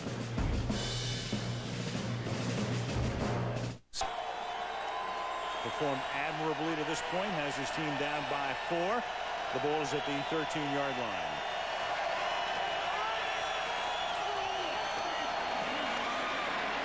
Jones. You know, it's amazing. Tony Romo played at Eastern Illinois, small football school, 1AA. They have only one player in the league from Eastern Illinois right now, and there he is. But there are three head coaches from Eastern Illinois. Mike Shanahan, Brad Childress up at Minnesota, Sean Payton with New Orleans. And there was Mike and Sean in their days as Panthers. That's what they were. The Eastern or are the Eastern Illinois Panthers. Good coaches.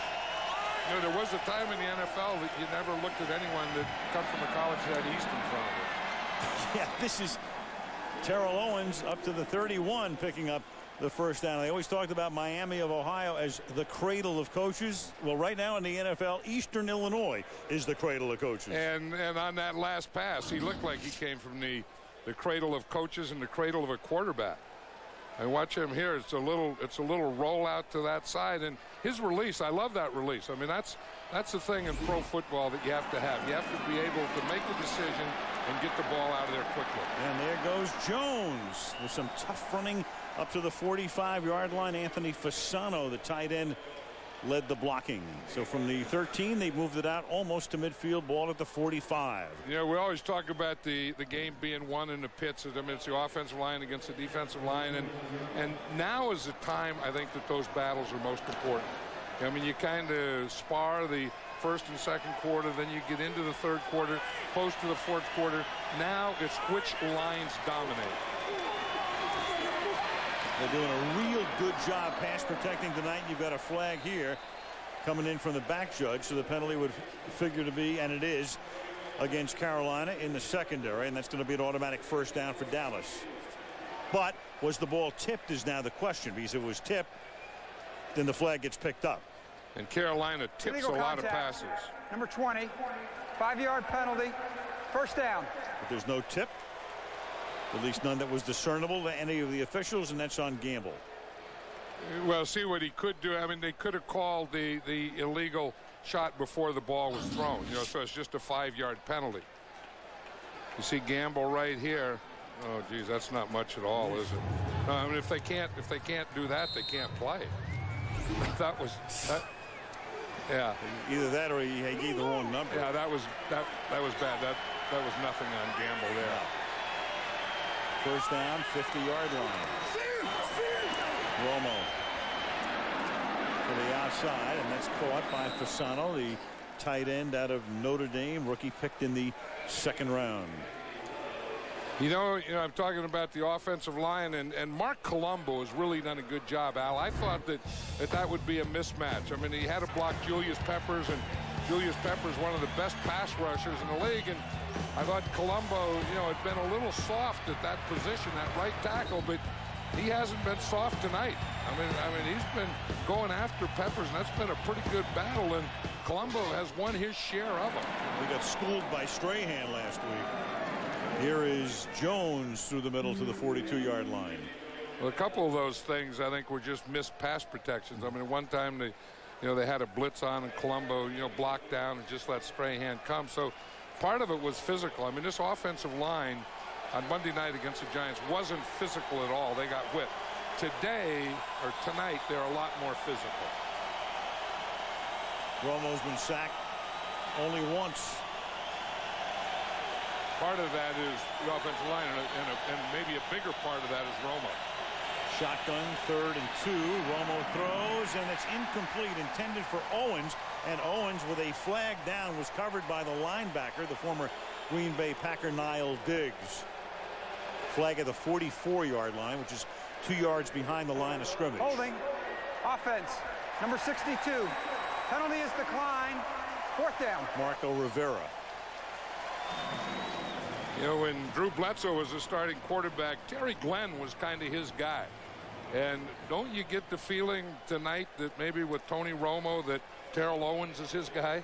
If there's someone you have to, you know, and again, you just can't watch one guy and throw to him. You don't do that in pro football, but you kind of have a guy that if you can, you're going to get the ball to him. He's thrown to Owens eight times, to Glenn four times. Meanwhile, Steve Smith goes back to return this kick, which is a wobbly end-over-end punt that Smith is going to collect at the two-yard line. Not many guys do that, but when you're Steve Smith, you can take a chance. And Smith brings it back out to the 18-yard line. You don't see very many punts fielded at the two-yard line. 3.14 left in the third. Four-point game. Carolina leads.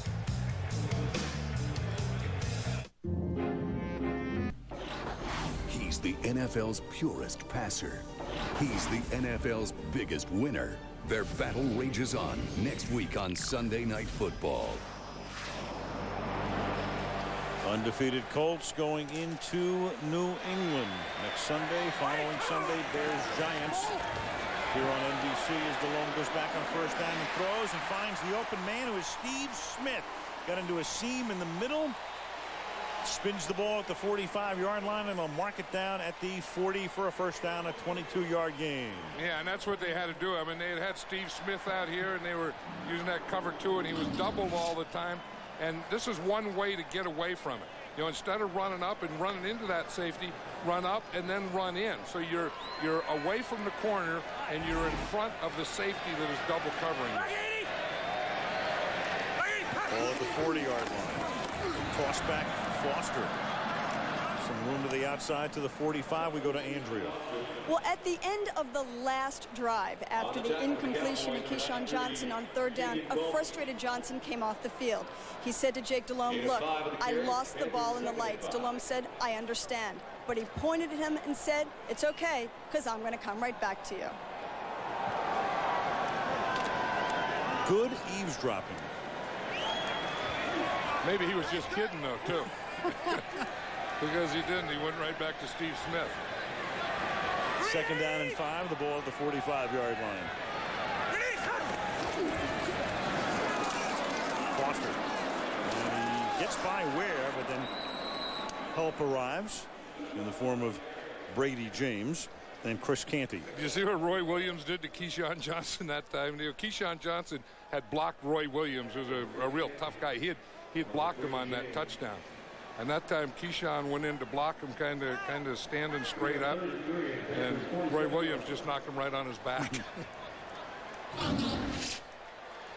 but you just see here's here's Keyshawn right here and he's going to go up to to block Roy Williams right here.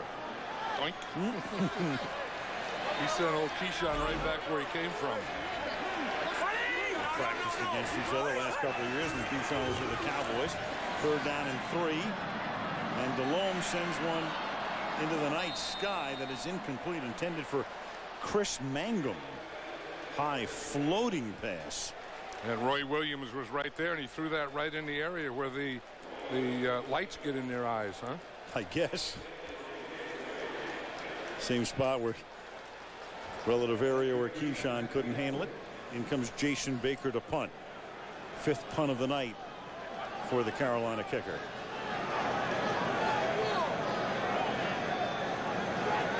Patrick Crayton to run it back.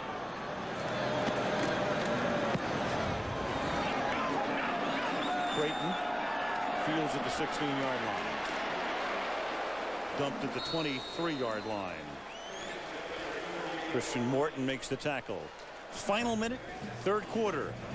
Carolina 14, Dallas 10. Tomorrow night, following Heroes, you will see Friday Night Lights. That's tomorrow night, Monday night, at a special day and time here on NBC. Downtown Charlotte. Charlotte, home of the Bobcats of the NBA. They'll open their season Wednesday. Bank of America Stadium, home of the Carolina Panthers. Al Michaels, John Madden, Andrea Kremer start the fourth quarter on first and 10 at the end of the third here. And Romo has that one knocked away by Kemoeatu, the former Baltimore Raven, number 99, who was picked up in the offseason. Yeah, I think the Panthers every year lead football in, in, in knock balls and tip balls and those kinds of things because their defensive linemen, first of all, to get tip balls, you have to get a pretty good push. And they get a good push. Then make that guy step up. And then the tackles, as they're getting the push, when the ends come around, the tackles just have to get their hands up. And they do an excellent job of that. Shotgun as they enter the backfield and there's action on the left side of the offensive line with Kris Jenkins coming across and Scott Green checking with the officials to see if he was induced. You have three different flags, so did each of the guys see it the same way? When Kris Jenkins starts going, there's no stopping it. That's right. I mean, he is the yeah. biggest man I think I've ever seen. Well, I don't know that, but he is a big man. He's not a fat guy. I mean, he's a big guy, and, and he's probably about 15 or 20 pounds more right now than he was when he was really dominant. Neutral zone infraction. Defense. Number 77. Five-yard penalty. Second down. I mean, just lining up, he's going to, you know, have some neutral zone infractions. right. It's hard, it's hard to keep it all on one side of the ball. Pretty tough to jump back on side. But I tell you, he does, and he gets penetration there, and that really helps the run. The other thing is that stunt when Mike Rucker, the defensive end, comes inside and he gets a push. That is really tough to block. The five receivers in this set. Romo out of the shotgun. Romo has time. Romo hits Witten. And Witten takes it out to the 41-yard line. So Jason Witten makes his fourth grab of the night. Owens has caught eight. Glenn has caught four. Witten now four. Yeah, Tony Romo told us last night that he was going to do some of that. They were going to do some of that empty backfield, and he said, "I tell you, when when I get in it, we're going to get rid of the ball quickly. I mean, it's not going to be one thing where you go empty and you have you don't have an extra pass protector in there. You spread them out. You're not going to stand back there and hold the ball." First and ten. They've got Marion Barber, who normally plays on third down in the game on first down here. Hoyte is the fullback, and they toss it to Barber son of the former New York Jet. up to the 48-yard line, and that'll take us down to the end of the third quarter. Good game. Carolina literally 14-0. Dallas has scored 10 unanswered points. 15 minutes of regulation left in Charlotte. 14 to 10 Panthers. NBC tomorrow. An all-new Heroes. Save the cheerleader, save the world. Witness the phenomenon. Then it's your chance to catch Friday Night Lights on a special night in time. I see us winning out there tonight. It's all new tomorrow on NBC.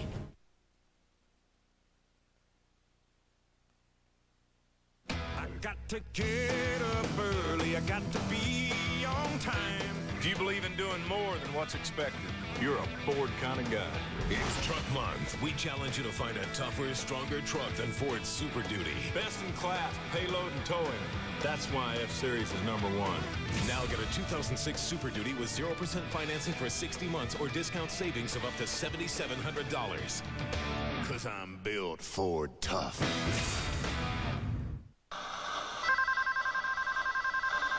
I can't download anything. I can't put anything in. I can't work like this. If I rewire this hub, would that give us a faster connection? Well, you'd think with three different providers, our network would work. Uh, hey, you guys could just use Qwest. Managing your network instead of your business? Qwest delivers high-speed internet and digital voice, all for only $96 per month. Get smart business solutions from Quest. Call 800-242-5000. That's our spirit of service. In the uncompromising world of professional grade, there's new reason to celebrate.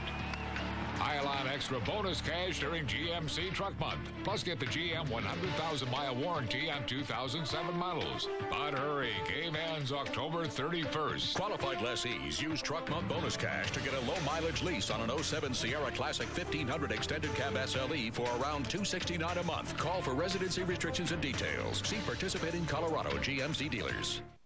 Winds of change coming to the metro area. The forecast at 10. Oh, an unusual position. 70 straight starts. That's over four years worth of games. Of course, a lot of those in Buffalo after he had left New England, then with Dallas. But this is Tony Romo's team at the moment. So Bledsoe with the jacket on. As we start the fourth quarter, it is second down and four for the Cowboys who trail 14 to 10. Marion Barber is the running back. He just carried for six on the last play of the third quarter. And now he starts the fourth with a run that should be good for a first down of the 48-yard line. Let's go to Andrea. Well, you're talking about Drew Bledsoe now. Before the game, he told me, I don't like or agree with this decision, but he said anybody that's lucky enough to play pro football can't complain about these circumstances. He said for 14 years, he's been lucky enough to look back and not hang his head about anything. He would not wrap it up in any way, and he said in a different role, but he's going to do everything he can to help his team win now. And he said that's the last time you'll hear me talk about it. And for Bledsoe as Romo goes back and throws and that pass is incomplete. It might be the end of his career. I mean, at this particular point, he's been in the league since 93. But as usual, and we've known him through the years, John, he takes the high road, and he did tonight. Right, and, and he has a lot of pride, and and he's been a great quarterback, and he's not going to be a backup. I mean, I, uh, you know, if someone wanted Drew Bledsoe as a starter, maybe he would play longer, but I don't see him playing after this year unless he's guaranteed to be a starter. He's not he's not going to sit around and hold a clipboard. Second and 10. The ball is at the 48-yard line.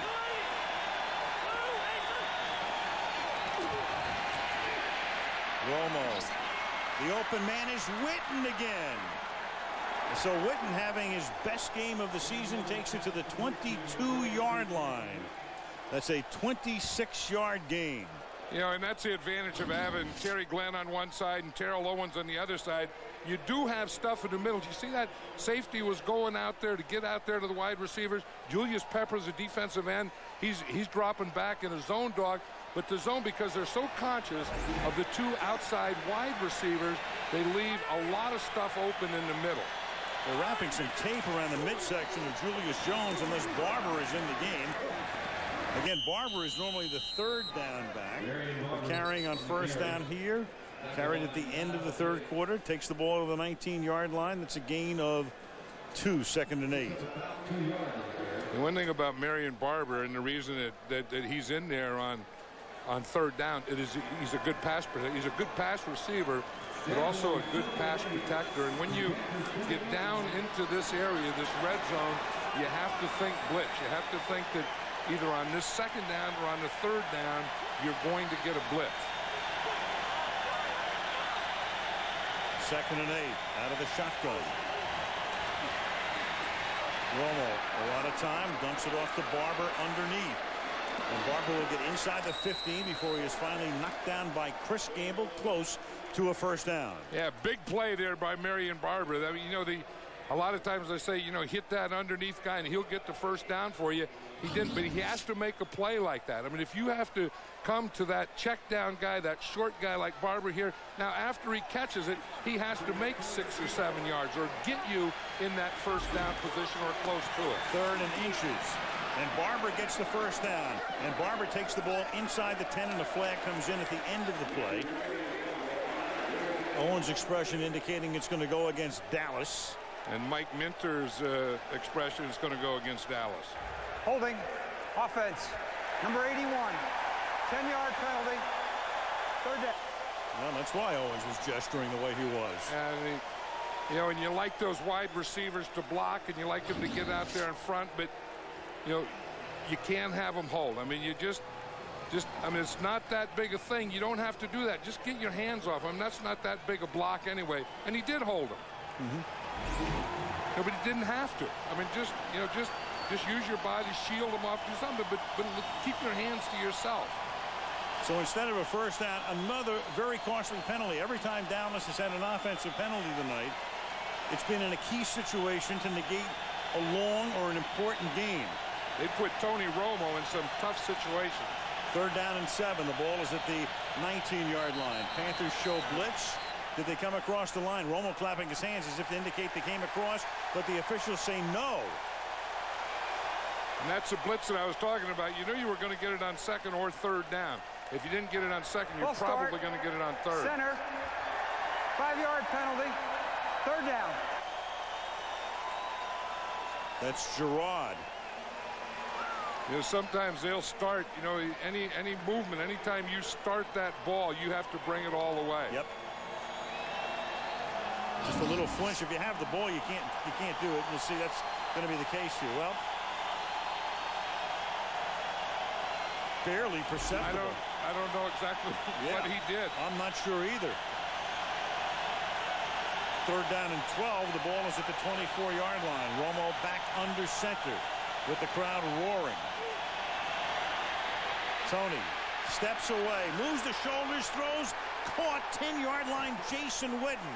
I mean, that's a play a great veteran quarterback makes. Feels the pressure. Here comes here comes the defense. Move the shoulders. Fire it over the middle. Strike. First down. That's the exact thing I think Bill Parcells was looking for. You're you're going to get some pass rush, but be able to get away from it right there, buy some more time, and find that. I mean, that is a big, big, big play by Tony Romo. First and goal. That was a 16-yard gain on a third and 12. Now you've got Barber who gets stood up at the seven-yard line. One thing the Cowboys are doing a lot of, they're using a fullback, so they have a lead block for their running, and it's been it's been Oliver Hoyte, the fullback, but it's also been Anthony Fasano. They, they've had like three or four different guys in that fullback position, and they've been able to get some power and some leads because of it. Parcells saying last year that position is becoming extinct. Not yet. right, and Anthony Fasano is listed as a tight end, but Parcells will tell you he's really a fullback. Second and goal.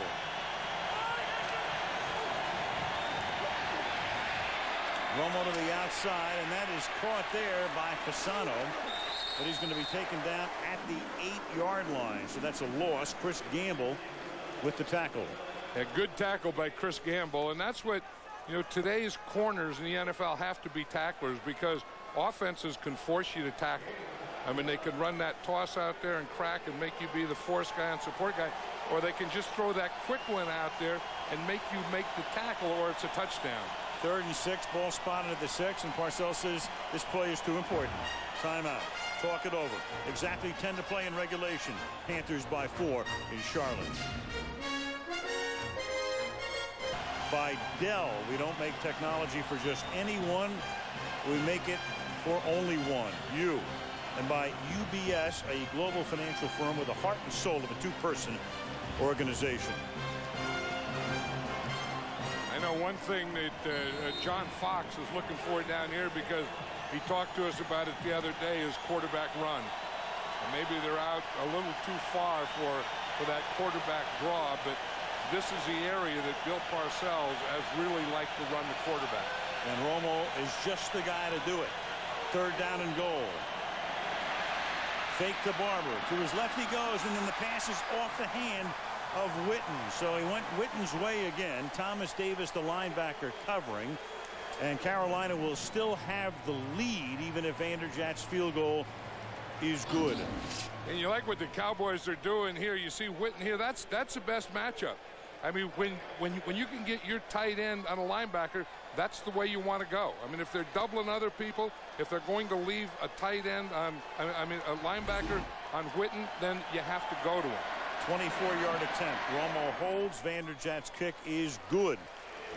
So it's a one-point game. 9.52 left in the fourth. 14-13 Panthers. Jay Leno this week. Guests include Rachael Ray, Tim Allen, Roseanne, Emma Thompson, Penelope Cruz, and Russell Crowe. The Tonight Show with Jay Leno this week on NBC. Rachael Ray, that's where I'll learn how to cook those pork chops so they're not dry. Find out yeah, why those why that pulled pork is so moist. No, pulled pork is a lot better than pork chops. Much better. Much better. Bouncing kick fielded inside the 10-yard line and going back to get it was Brad Hoover and the ball is loose at the 15-yard line and the Dallas Cowboys have recovered.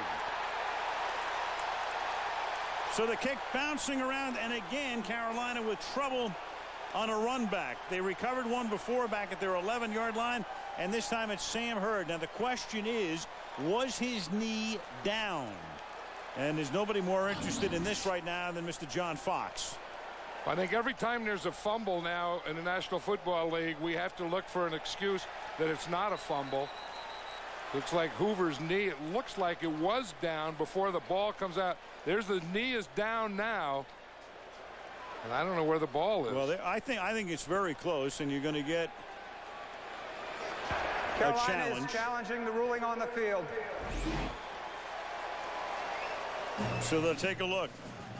Huge call coming up when Scott Green goes under the hood. This is going to be a really very close call here because we've been After looking at it. Here comes play, Green. The ruling on the field stands. Carolina is charged with a second timeout. We were looking at it during the commercial break, and there's not enough evidence to overturn. Remember, the, the, the ruling on the field was a fumble. The ball is coming out. The question is, was his knee down? And you never see if the knee was down before the ball was pulled out by Sam Hurd, number 17, also recovered it. Yeah, I mean, you have to protect the ball, and, and I like to see that. I mean, if a if a guy fumbles, it's a doggone fumble. It's it's now it seems like with instant replay, we always want to find out why it wasn't a fumble. And you look and you look and you look. And I'd like to get back in football where a fumble is a fumble, and that was a fumble. That was a fumble. Julius Jones is back in the game. Jones a burst through the middle into the end zone. And the Dallas Cowboys have erased a 14-point deficit and lead 19 to 14. Boy, so, Julius Jones hit that thing in there, didn't oof, he? Boy.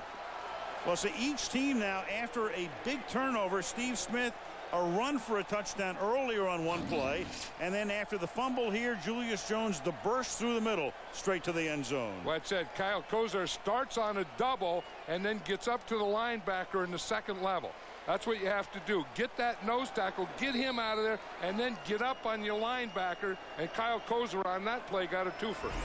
And now with the score 19-14, mathematics tells you a two-point conversion is in order to make it a one-touchdown game instead of a two-field goal game. Tony Romo out of the shotgun for the two-point conversion. Fake draw, throws, converts to Owens for two points. So Terrell Owens now makes it a seven-point game, 21 to 14. The Dallas Cowboys in a vital and critical game behind Romo have taken the lead.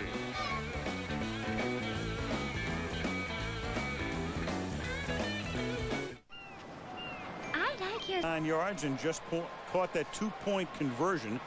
Dallas dominating in terms of time of possession, in terms of yardage, and now on top by a score of 21 to 14.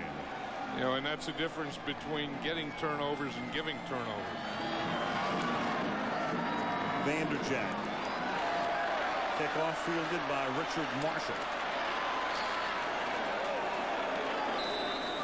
He had a Fresno State to the 26 yard line. Let's go back to the two point conversion and some great deception here by Romo. Right. I know I know that the that the Panthers were playing quarterback draw. So so he goes up, fakes like he's going to run the quarterback draw, comes back and throws it to Terrell Owens. In fact, did you see Julius Peppers there? He started back in. He was playing quarterback draw. And then so so Romo said that's what you want. We'll think. Now there's the old giant nose tackle Jim Burt. About the 10 guys that called Bill Parcells last week. I'm sure Jim Burt was one of them. The pass is dropped by Michael Gaines. How about that little love tap from Parcells to the player? well, you know, the player is a playmaker. Panthers have not been making very many plays since the last time they scored with 121 to go in the first period three punts and a missed field goal, and then they fumbled the kickoff, and that was huge. Second and 10 at the 26-yard line. Nine and a half left in regulation. Under pressure, Delhomme escapes, and then Foster drops it out in the flag. When the crowd gets angry. Yeah, Jake Delhomme's getting frustrated too because it's those types of things. You know, again, we go back to the third down. That, that a bad play on second down will a lot of times put you in a tough situation on third down, and it's doing exactly that right here. Five drops by the Panthers tonight. Third and 10. In Carolina last in the league in third down conversions tonight overall two out of seven. I don't know that he's gone back to Keyshawn Johnson yet, has he, since he dropped that one? No. He said he was. There's Johnson in motion. Three receivers to the right. Delhomme looking that way. Delhomme sends one to the sideline, and then that's incomplete. And you've got Johnson and Carter both in the same area. Yep, the Panthers are getting frustrated now, and I think, you know, you drop a ball, you get third and long, you have two guys running the same area. You know, when you have that, one of the guys ran the wrong pattern, and and I'll tell you, it is frustrating the heck out of Jake Delhomme. And about 65,000 others as well. Jason Baker to punt. Terrence Newman this time back. Rotating return men for Dallas depending on the situation. 21 yard line. Newman. And he gets taken down after a run back of five. They'll spot him up at the 26 yard line tackled by Diggs. 909 to go in Charlotte. Cowboys by a touchdown.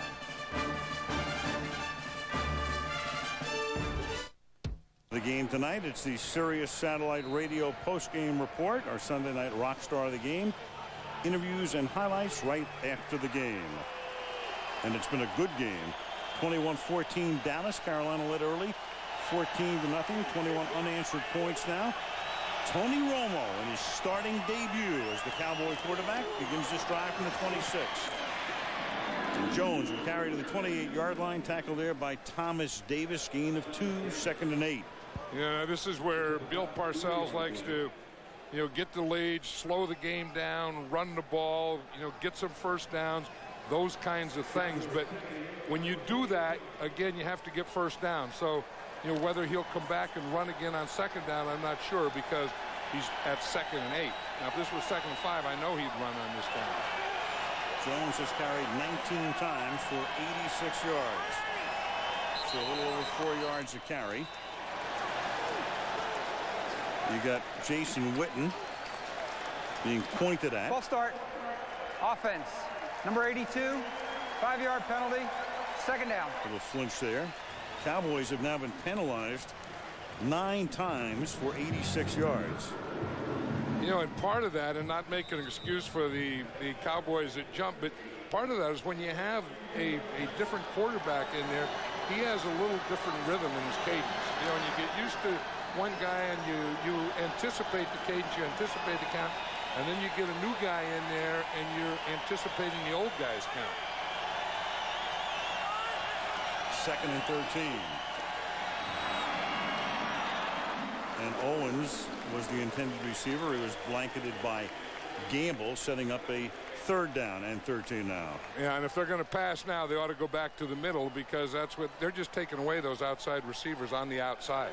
So they have to get them in the inside and in the middle like they did before, or or go to Whitten in the middle. Because the Panther defense has really done a good job of taking away Terrell Owens when he's been outside like this and Terry Glenn when he's been outside like that up on top.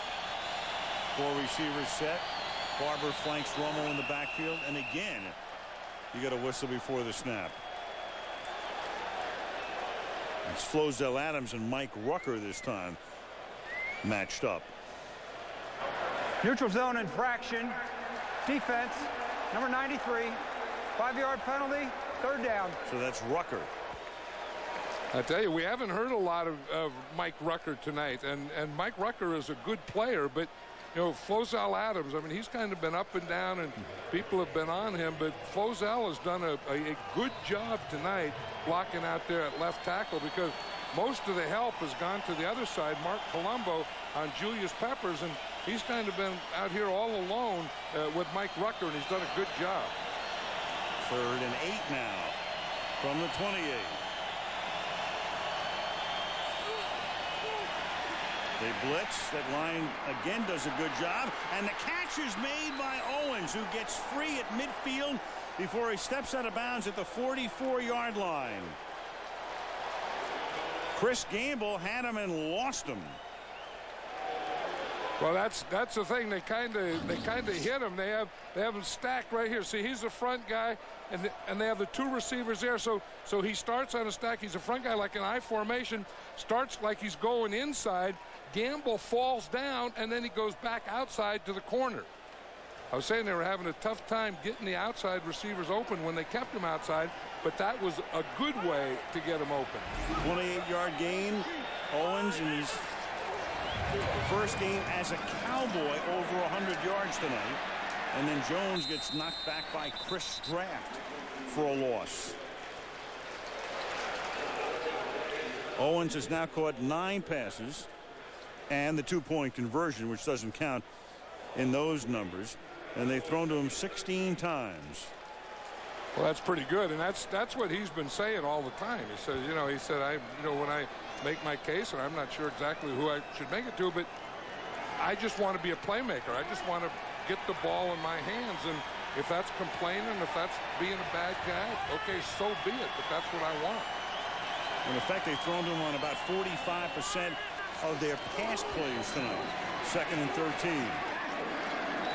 Jones now to the 44-yard line. I think he's working a lot more than he's used to be working because, as you said, he's been a big part of their offense. And on that last play, they brought him in darn near to a tight end position. He was a blocker. Watch this. They bring him in, and he's going to block Julius Peppers right there. Heck, he had to hold him, too, didn't he? Third and 10.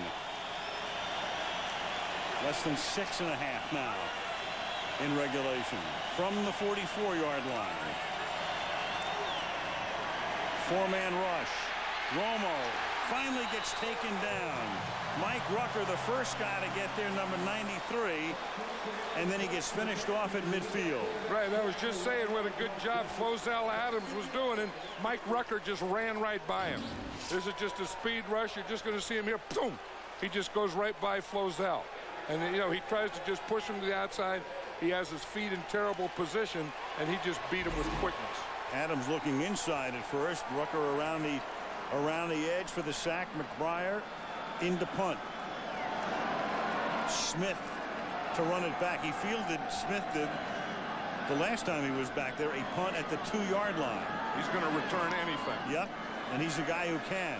And this is a line drive that he can't handle at the six-yard line. The ball is loose again, and it is all the Panthers can do to maintain possession as Richard Marshall, who lost a fumble earlier, is there this time to save the day, at least for the moment, because that could have written a finish to this one. Well, you talk about shooting yourself in the foot. You know, the, the, the Panthers have really shot themselves in the foot in, the, in special teams. In this area, I mean, these kinds of things. Remember the Hoover fumble, this play, the other play that you were talking about, the other fumble, and it, it's it's it's not offense as much as the special team has been getting them. So Carolina backed up to its own two-yard line with five and a half to go. Delhomme out of the end zone to throw. To the outside to Foster. He'll get three. Taken down at the five. Tackled by Anthony Henry. Delhomme is no stranger to late comebacks. Nine fourth quarter touchdown passes to take his team from trailing to leading since the 2003 season. Best in the league. 14 game winning drives in the fourth quarter or overtime. Most in the league since the 2003 campaign. They just haven't been able to put any drives together in this second half. And as John Fox told us the other day, we haven't put a complete game together. And they haven't tonight either. Second down and six.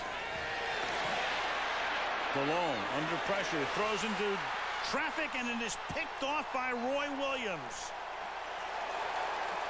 Double coverage along the far sideline and Roy Williams was there on a pass intended for Keyshawn Johnson. Right, and that's at cover two, you know, where the corner comes up on the wide receiver, the safety comes over, Roy Williams being the safety, or the deep guy on that cover two.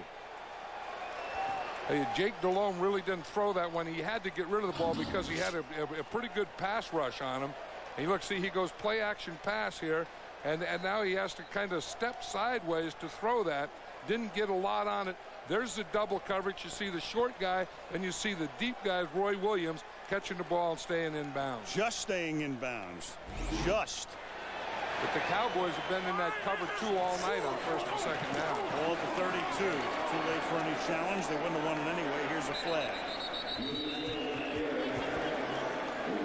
And a face mask. You know, Bill Parcells is kind of a Carolina. different guy tonight than the Cowboys are a different team tonight than they were on Monday night. Yep. And they're a lot more aggressive. They're going after Personal things. Foul, face mask, defense. Number 90. Half the distance to the goal. First down. Well, Bill doesn't have a party hat on tonight, but last week, as we said, I thought he was a cross between disconsolate and exasperated. Tonight, better. Yeah, and and frustrated and not upset where that comes in there. I think that you know those 10 phone calls he got and the letters and stuff. I think that was about that. You know, you know, we like to see you get mad. We like to see you get frustrated. We like to see you get on guys. Jim Burt comes down here to be in the sideline to remind them, hey, yell at these guys the way you used to yell at me. Right now the frustration is on the other side, and the Panthers are in a big hole right now because the Cowboys can chew some of the clock here, and Carolina has only one timeout plus the two-minute warning. And there's Jones. So Carolina really up against it now. They had to take an earlier timeout. They lost another timeout because of an unsuccessful challenge. And uh, that's the dilemma that Fox is facing right now. The other dilemma he's facing is his, his defense is tired and they're worn down. And I think, you know, after these first downs, after, you know, the Cowboys having the ball so many plays, that defense has been out on the field a long time and they're starting to wear and tear is starting to show on them. And the Cowboys right now have the upper hand. Second down and 10. Romo, like a 10-year veteran, just milks the play clock right down to the end with the game clock running, and the ball is at the 13-yard line. You know, Romo reminds me of Jimmy Johnson years ago used to have a saying about, you know, you talk about it and the guy is it. And he said, yeah, the guy that's it is the guy that walks in a room and sinks the eight ball. and you kind of kind of feel that Tony Romo may be that guy that walks in a room sinks the eight ball takes the money and walks out. He has that kind of personality. Look at this in this quarter, 105 yards the Cowboys to four for Carolina. That's why the defense looks tired. Third down and eight. At worst, a chip shot field goal attempt. At best, a first down and maybe a touchdown to come. See, It'll be a first down at the three-yard line. Marion Barber. Yeah, excuse me, Al, but that's what a tired defense looks like. I mean, that's that that you know you get that type of run and you get missed tackles and you know those things happen to a tired defense and that's what the Carolina Panthers are right now and the Cowboys can have their way with them.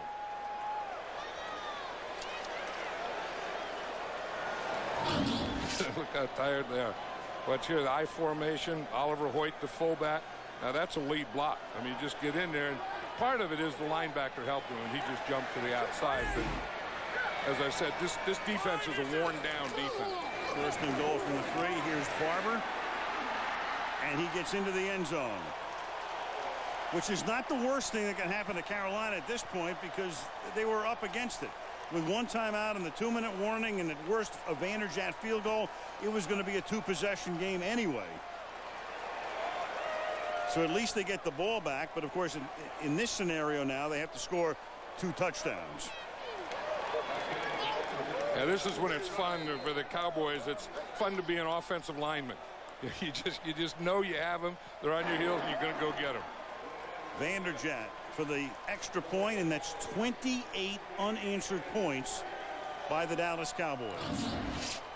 Watch his touchdown run, and you just see this this whole side here just goes down. I mean, they just they just take them all, and they just they just push the whole thing darn near right into the end zone. Look at this, they're all standing up, getting pushed back. That's that's when you know you have dominance. John, it's the it's the end of October. The standings right now, five and two are the Giants. Eagles lose today. Dallas three and three, on the verge of going to four and three. In the South right now, Atlanta and New Orleans each five and two. Carolina in jeopardy now, falling to four and four. You you can't say it's a season saver at the end of October, but the Dallas Cowboys were right on the cusp of losing this season. If Romo had played poorly tonight, if they had lost the game tonight, two more road games, Giants playing that well, this may be a season saver. I totally agree with that. I mean, that was a tough decision that Bill Parcells made to, you know, take his quarterback out, go to Tommy Romo, and know that when you did that, you had to stay with it. It was kind of, okay, I'm going to put it in his hands, we're going to either do it or not do it with him. And if it didn't work, I agree with you, Al, it would have been a long year. Up to the 24-yard line. Marshall shaken as he goes down to the 24-yard line. And for Bill Parcells, now at the end of his fourth season, well, there he is. I mean, there is the yeah. sort of the old Parcells, a little bit of the of the old Bill. Well, he's having fun. I mean, winning is fun. Losing is tough. I mean, losing is terrible. There's nothing worse than losing. And probably there's nothing better than winning. And I know exactly how he feels. I've been on both ends of that. And his owner, Jerry Jones, and I know how he feels. Hmm. And you saw that graphic. I mean, Parcells has not had a, a win of this type. Look at the two of them. Since 86 as the coach of the Giants trailing by 14 in the first quarter. I think Parcells was just saying, there's my guy that can sink the eight ball.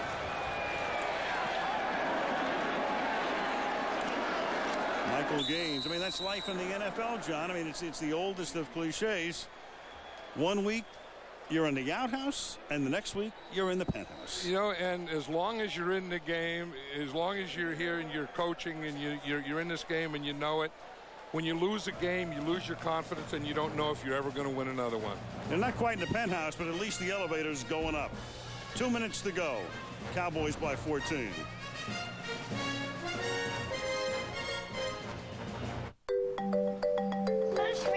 Dallas Cowboy Roy Williams covers more ground than just about anyone in the NFL. I'll be right there. But even he can't be there for every child that needs his help. Hey, you're good with kids, aren't you? What about me? Maybe you can give them a hand. Help the NFL and United Way strengthen your community. Volunteer at unitedway.org. This It's coming. NFL television history. I believe that they're the real deal. The best teams. Caught. Touchdown. The biggest stars. An NFC showdown. The undefeated Bears. The NFC East leading Giants. Go ahead and flex. Only on Sunday Night Football. And you couldn't have a better game to flex into than that. The Bears are undefeated at the moment. The Giants are red hot at the moment, and they meet at the Meadowlands. And then next week, Indianapolis and New England. Despite playing in separate divisions, they seem to meet every year. We've done a number of these games over the past few seasons. You've got Brady, you've got the undefeated Colts and Manning. So you got Colts, Pats, Bears, Giants on your next two Sunday nights. Right, and you know when you talk about the best quarterbacks in football, it's either Brady or Manning, and next Sunday night we have both of them. Meanwhile, you had Ellis coming in, creating the fumble, and Dallas recovers to write the ultimate finish to this one as John Fox can only shake his head, and Carolina will go into that off week now with a record of four and four. Yeah, we talked about Dallas, how you know how big a thing this is in a turnaround, and then then you look here's here's Greg Ellis. He's going to be the the end man in the line of scrimmage. He's a either a strong side linebacker or when they go to pass rush and he becomes a left defensive end. But you look at the Panthers, you know they lose they lose two in a row now, and they have a bye week to think about it. Right, and they don't play a game for 15 days. Their next game is uh, two weeks from tomorrow against Tampa. So it's first and 10 now. Ratliff recovered the fumble. They're going to look at it review the upstairs. previous play. Well, this is one that almost always gets reviewed. We're inside two minutes, so there's no challenge here. This has to be stopped by the replay official upstairs.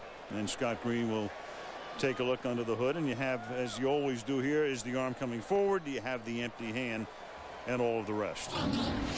Take a look.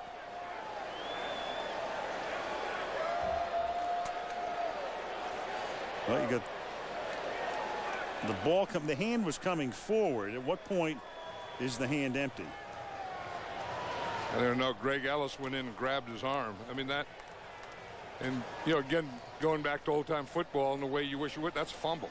Now, I know what happened. You know, the Raiders in New England and the, you know, the tuck rule and all that stuff that we have to go through now because of that. But you know, I don't care what you could. That's a fumble. Now they may say open hand, tuck, you know, hand going, you know, and all those things. Listen, Ellis may have hit the ball. Well, he puts his hand right on. Well, if he didn't hit the ball, wrist, he put yeah. his hand right on his hand. Yeah. Yeah. This is this is one of those rules. I mean, and the competition committee wrestles with this every year, and they're trying to get it right, and they're trying to make it less complicated. And a lot of people have had a lot of input in this, and of course, it all goes back to. I mean, the most dramatic of them all, of course, was the Oakland New England game. You see Jake Delhomme on that with his tongue out. You wonder why they don't bite their tongue off sometimes. After reviewing the play, the ruling on the field stands. And that'll write a finish to this one, and Bill Parcells and the gang can make a uh, a happy westbound trip and head back to the Metroplex, and then it's on to Washington next week. 29 more plays run by the Cowboys tonight. Of course, as John said, Carolina shooting itself in the foot. Three turnovers in the fourth quarter alone. Barb. So for the Romo era, we don't want to make it the Romo era just yet, but uh, for the Dallas Cowboys, they, I'm only, they only feel they only feel about 100 times better than they did six nights ago. Right, and he had to come in here and have this kind of game, and and you know you don't feel that this is one a lucky one, and he's not going to have it. I mean, he has too much talent. I didn't know that he had that quicker release and could read as well as he did, and do the things that he does professionally. He's pretty good. He really is. well, we had a little. He he had a, a little love tap for Owens before. There's a little smooch for Keith Davis. That's the second coach kiss we've had this year. Remember Bill Cowher? But that but that was instigated by. Remember, it was Joey Porter who did the kissing. Bill Bill, I think, received the kiss, as I recall. Did he? I I'm, I thought. I'm trying to remember. Maybe I, you're right. I think Porter Porter did the kissing.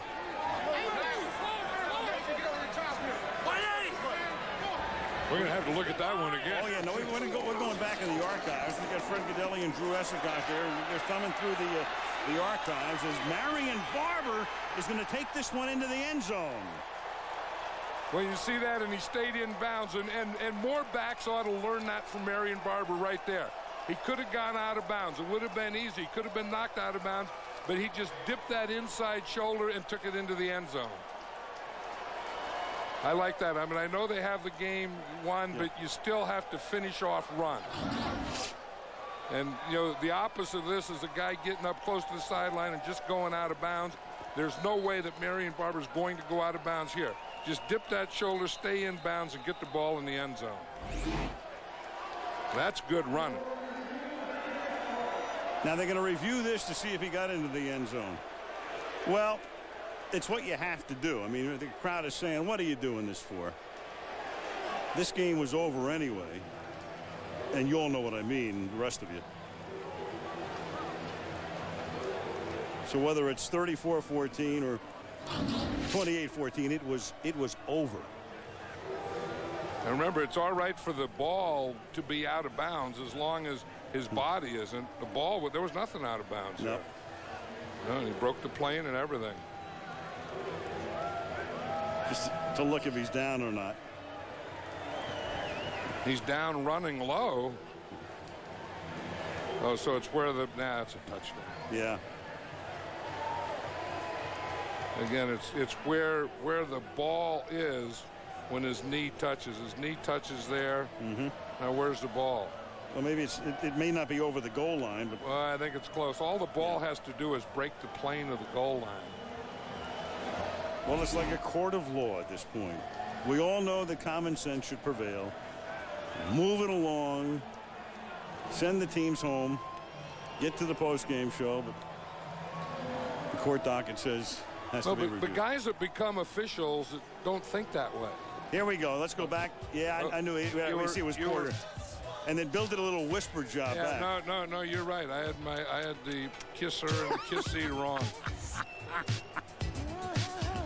I think Bill gave him a double dip there, didn't he? After reviewing the play, the ruling on the field stands.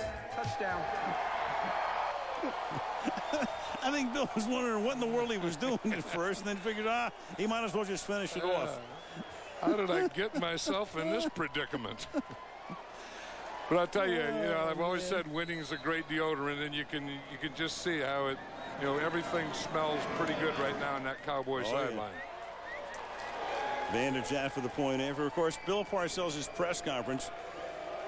Press conferences have become great theater.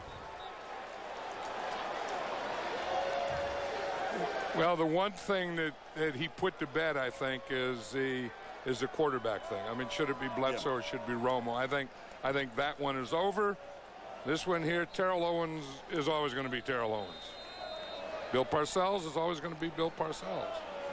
Speaking of those press conferences, beginning with the end of the game last week, dot, dot, dot. I'm ashamed to put a team out there that plays like that.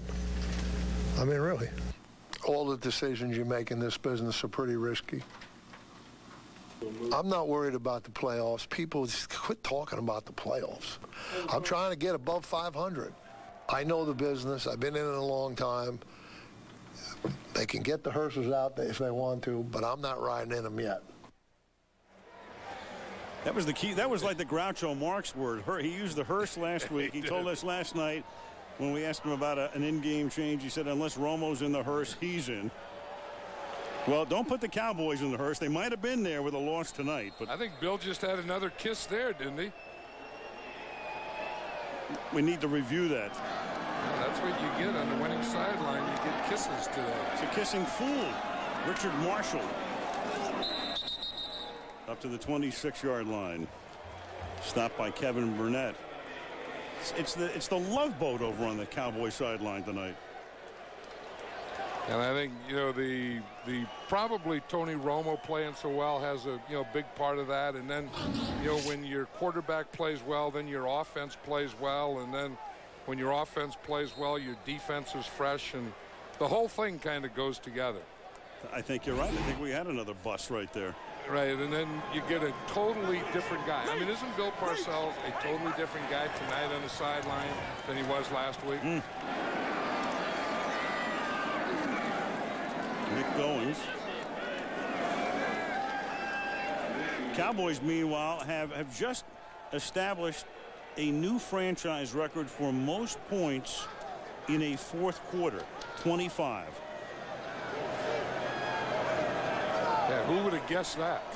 I mean, You know, amazing. coming into this with the you know the, the, the quarterback, the, the bad loss, the coach being upset, and the and the whole thing. Sometimes you, when are they ever going to win another game? And the other thing too, John, I mean, you, you think back, or it's 14 to nothing Carolina. They're on the verge of a blowout. You got a quarterback, you're not going to make a change. And so it's even sweeter with 35 unanswered points, and, and you're the team blowing the other team out. Right, and then and then doing it on the road too. I mean, you know, you come on the road and you know, you know, it's going to be tough. It's a hostile environment and all those types of things, and then you get down 14 to nothing. Panther injured right now.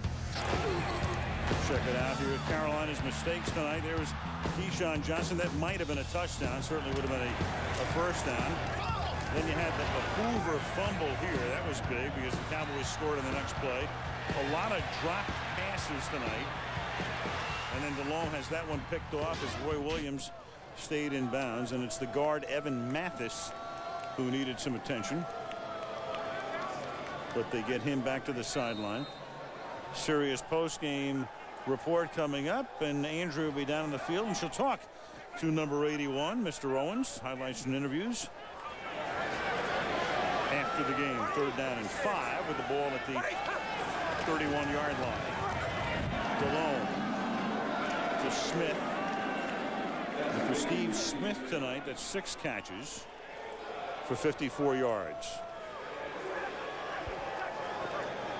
I've always thought in this situation it's silly to run plays. I mean, you're down 35 to 14. What are you going to do? You have a play that scores 20 points? It's fourth and one, and this is Nick Goings going out of bounds. Going to move the chains with 35 seconds to play. I think there's sometimes you just say, okay, it's over. You know, I mean, let's just run it out and we'll go home. We'll take our bye week. We'll put it back together and come out and play again. This is one of those times. Because I think if you ever got a player hurt doing this, oh yeah, yeah, you'd never forgive yourself. And it's happened too. At the 40 yard line, first and 10. Gaines to the 49 yard line. Funny how Mr. Owens, Terrell Owens, is kind of he's kind of moved into the the background a little bit here. I mean, it was all T.O. all the time, and now he's like a secondary figure.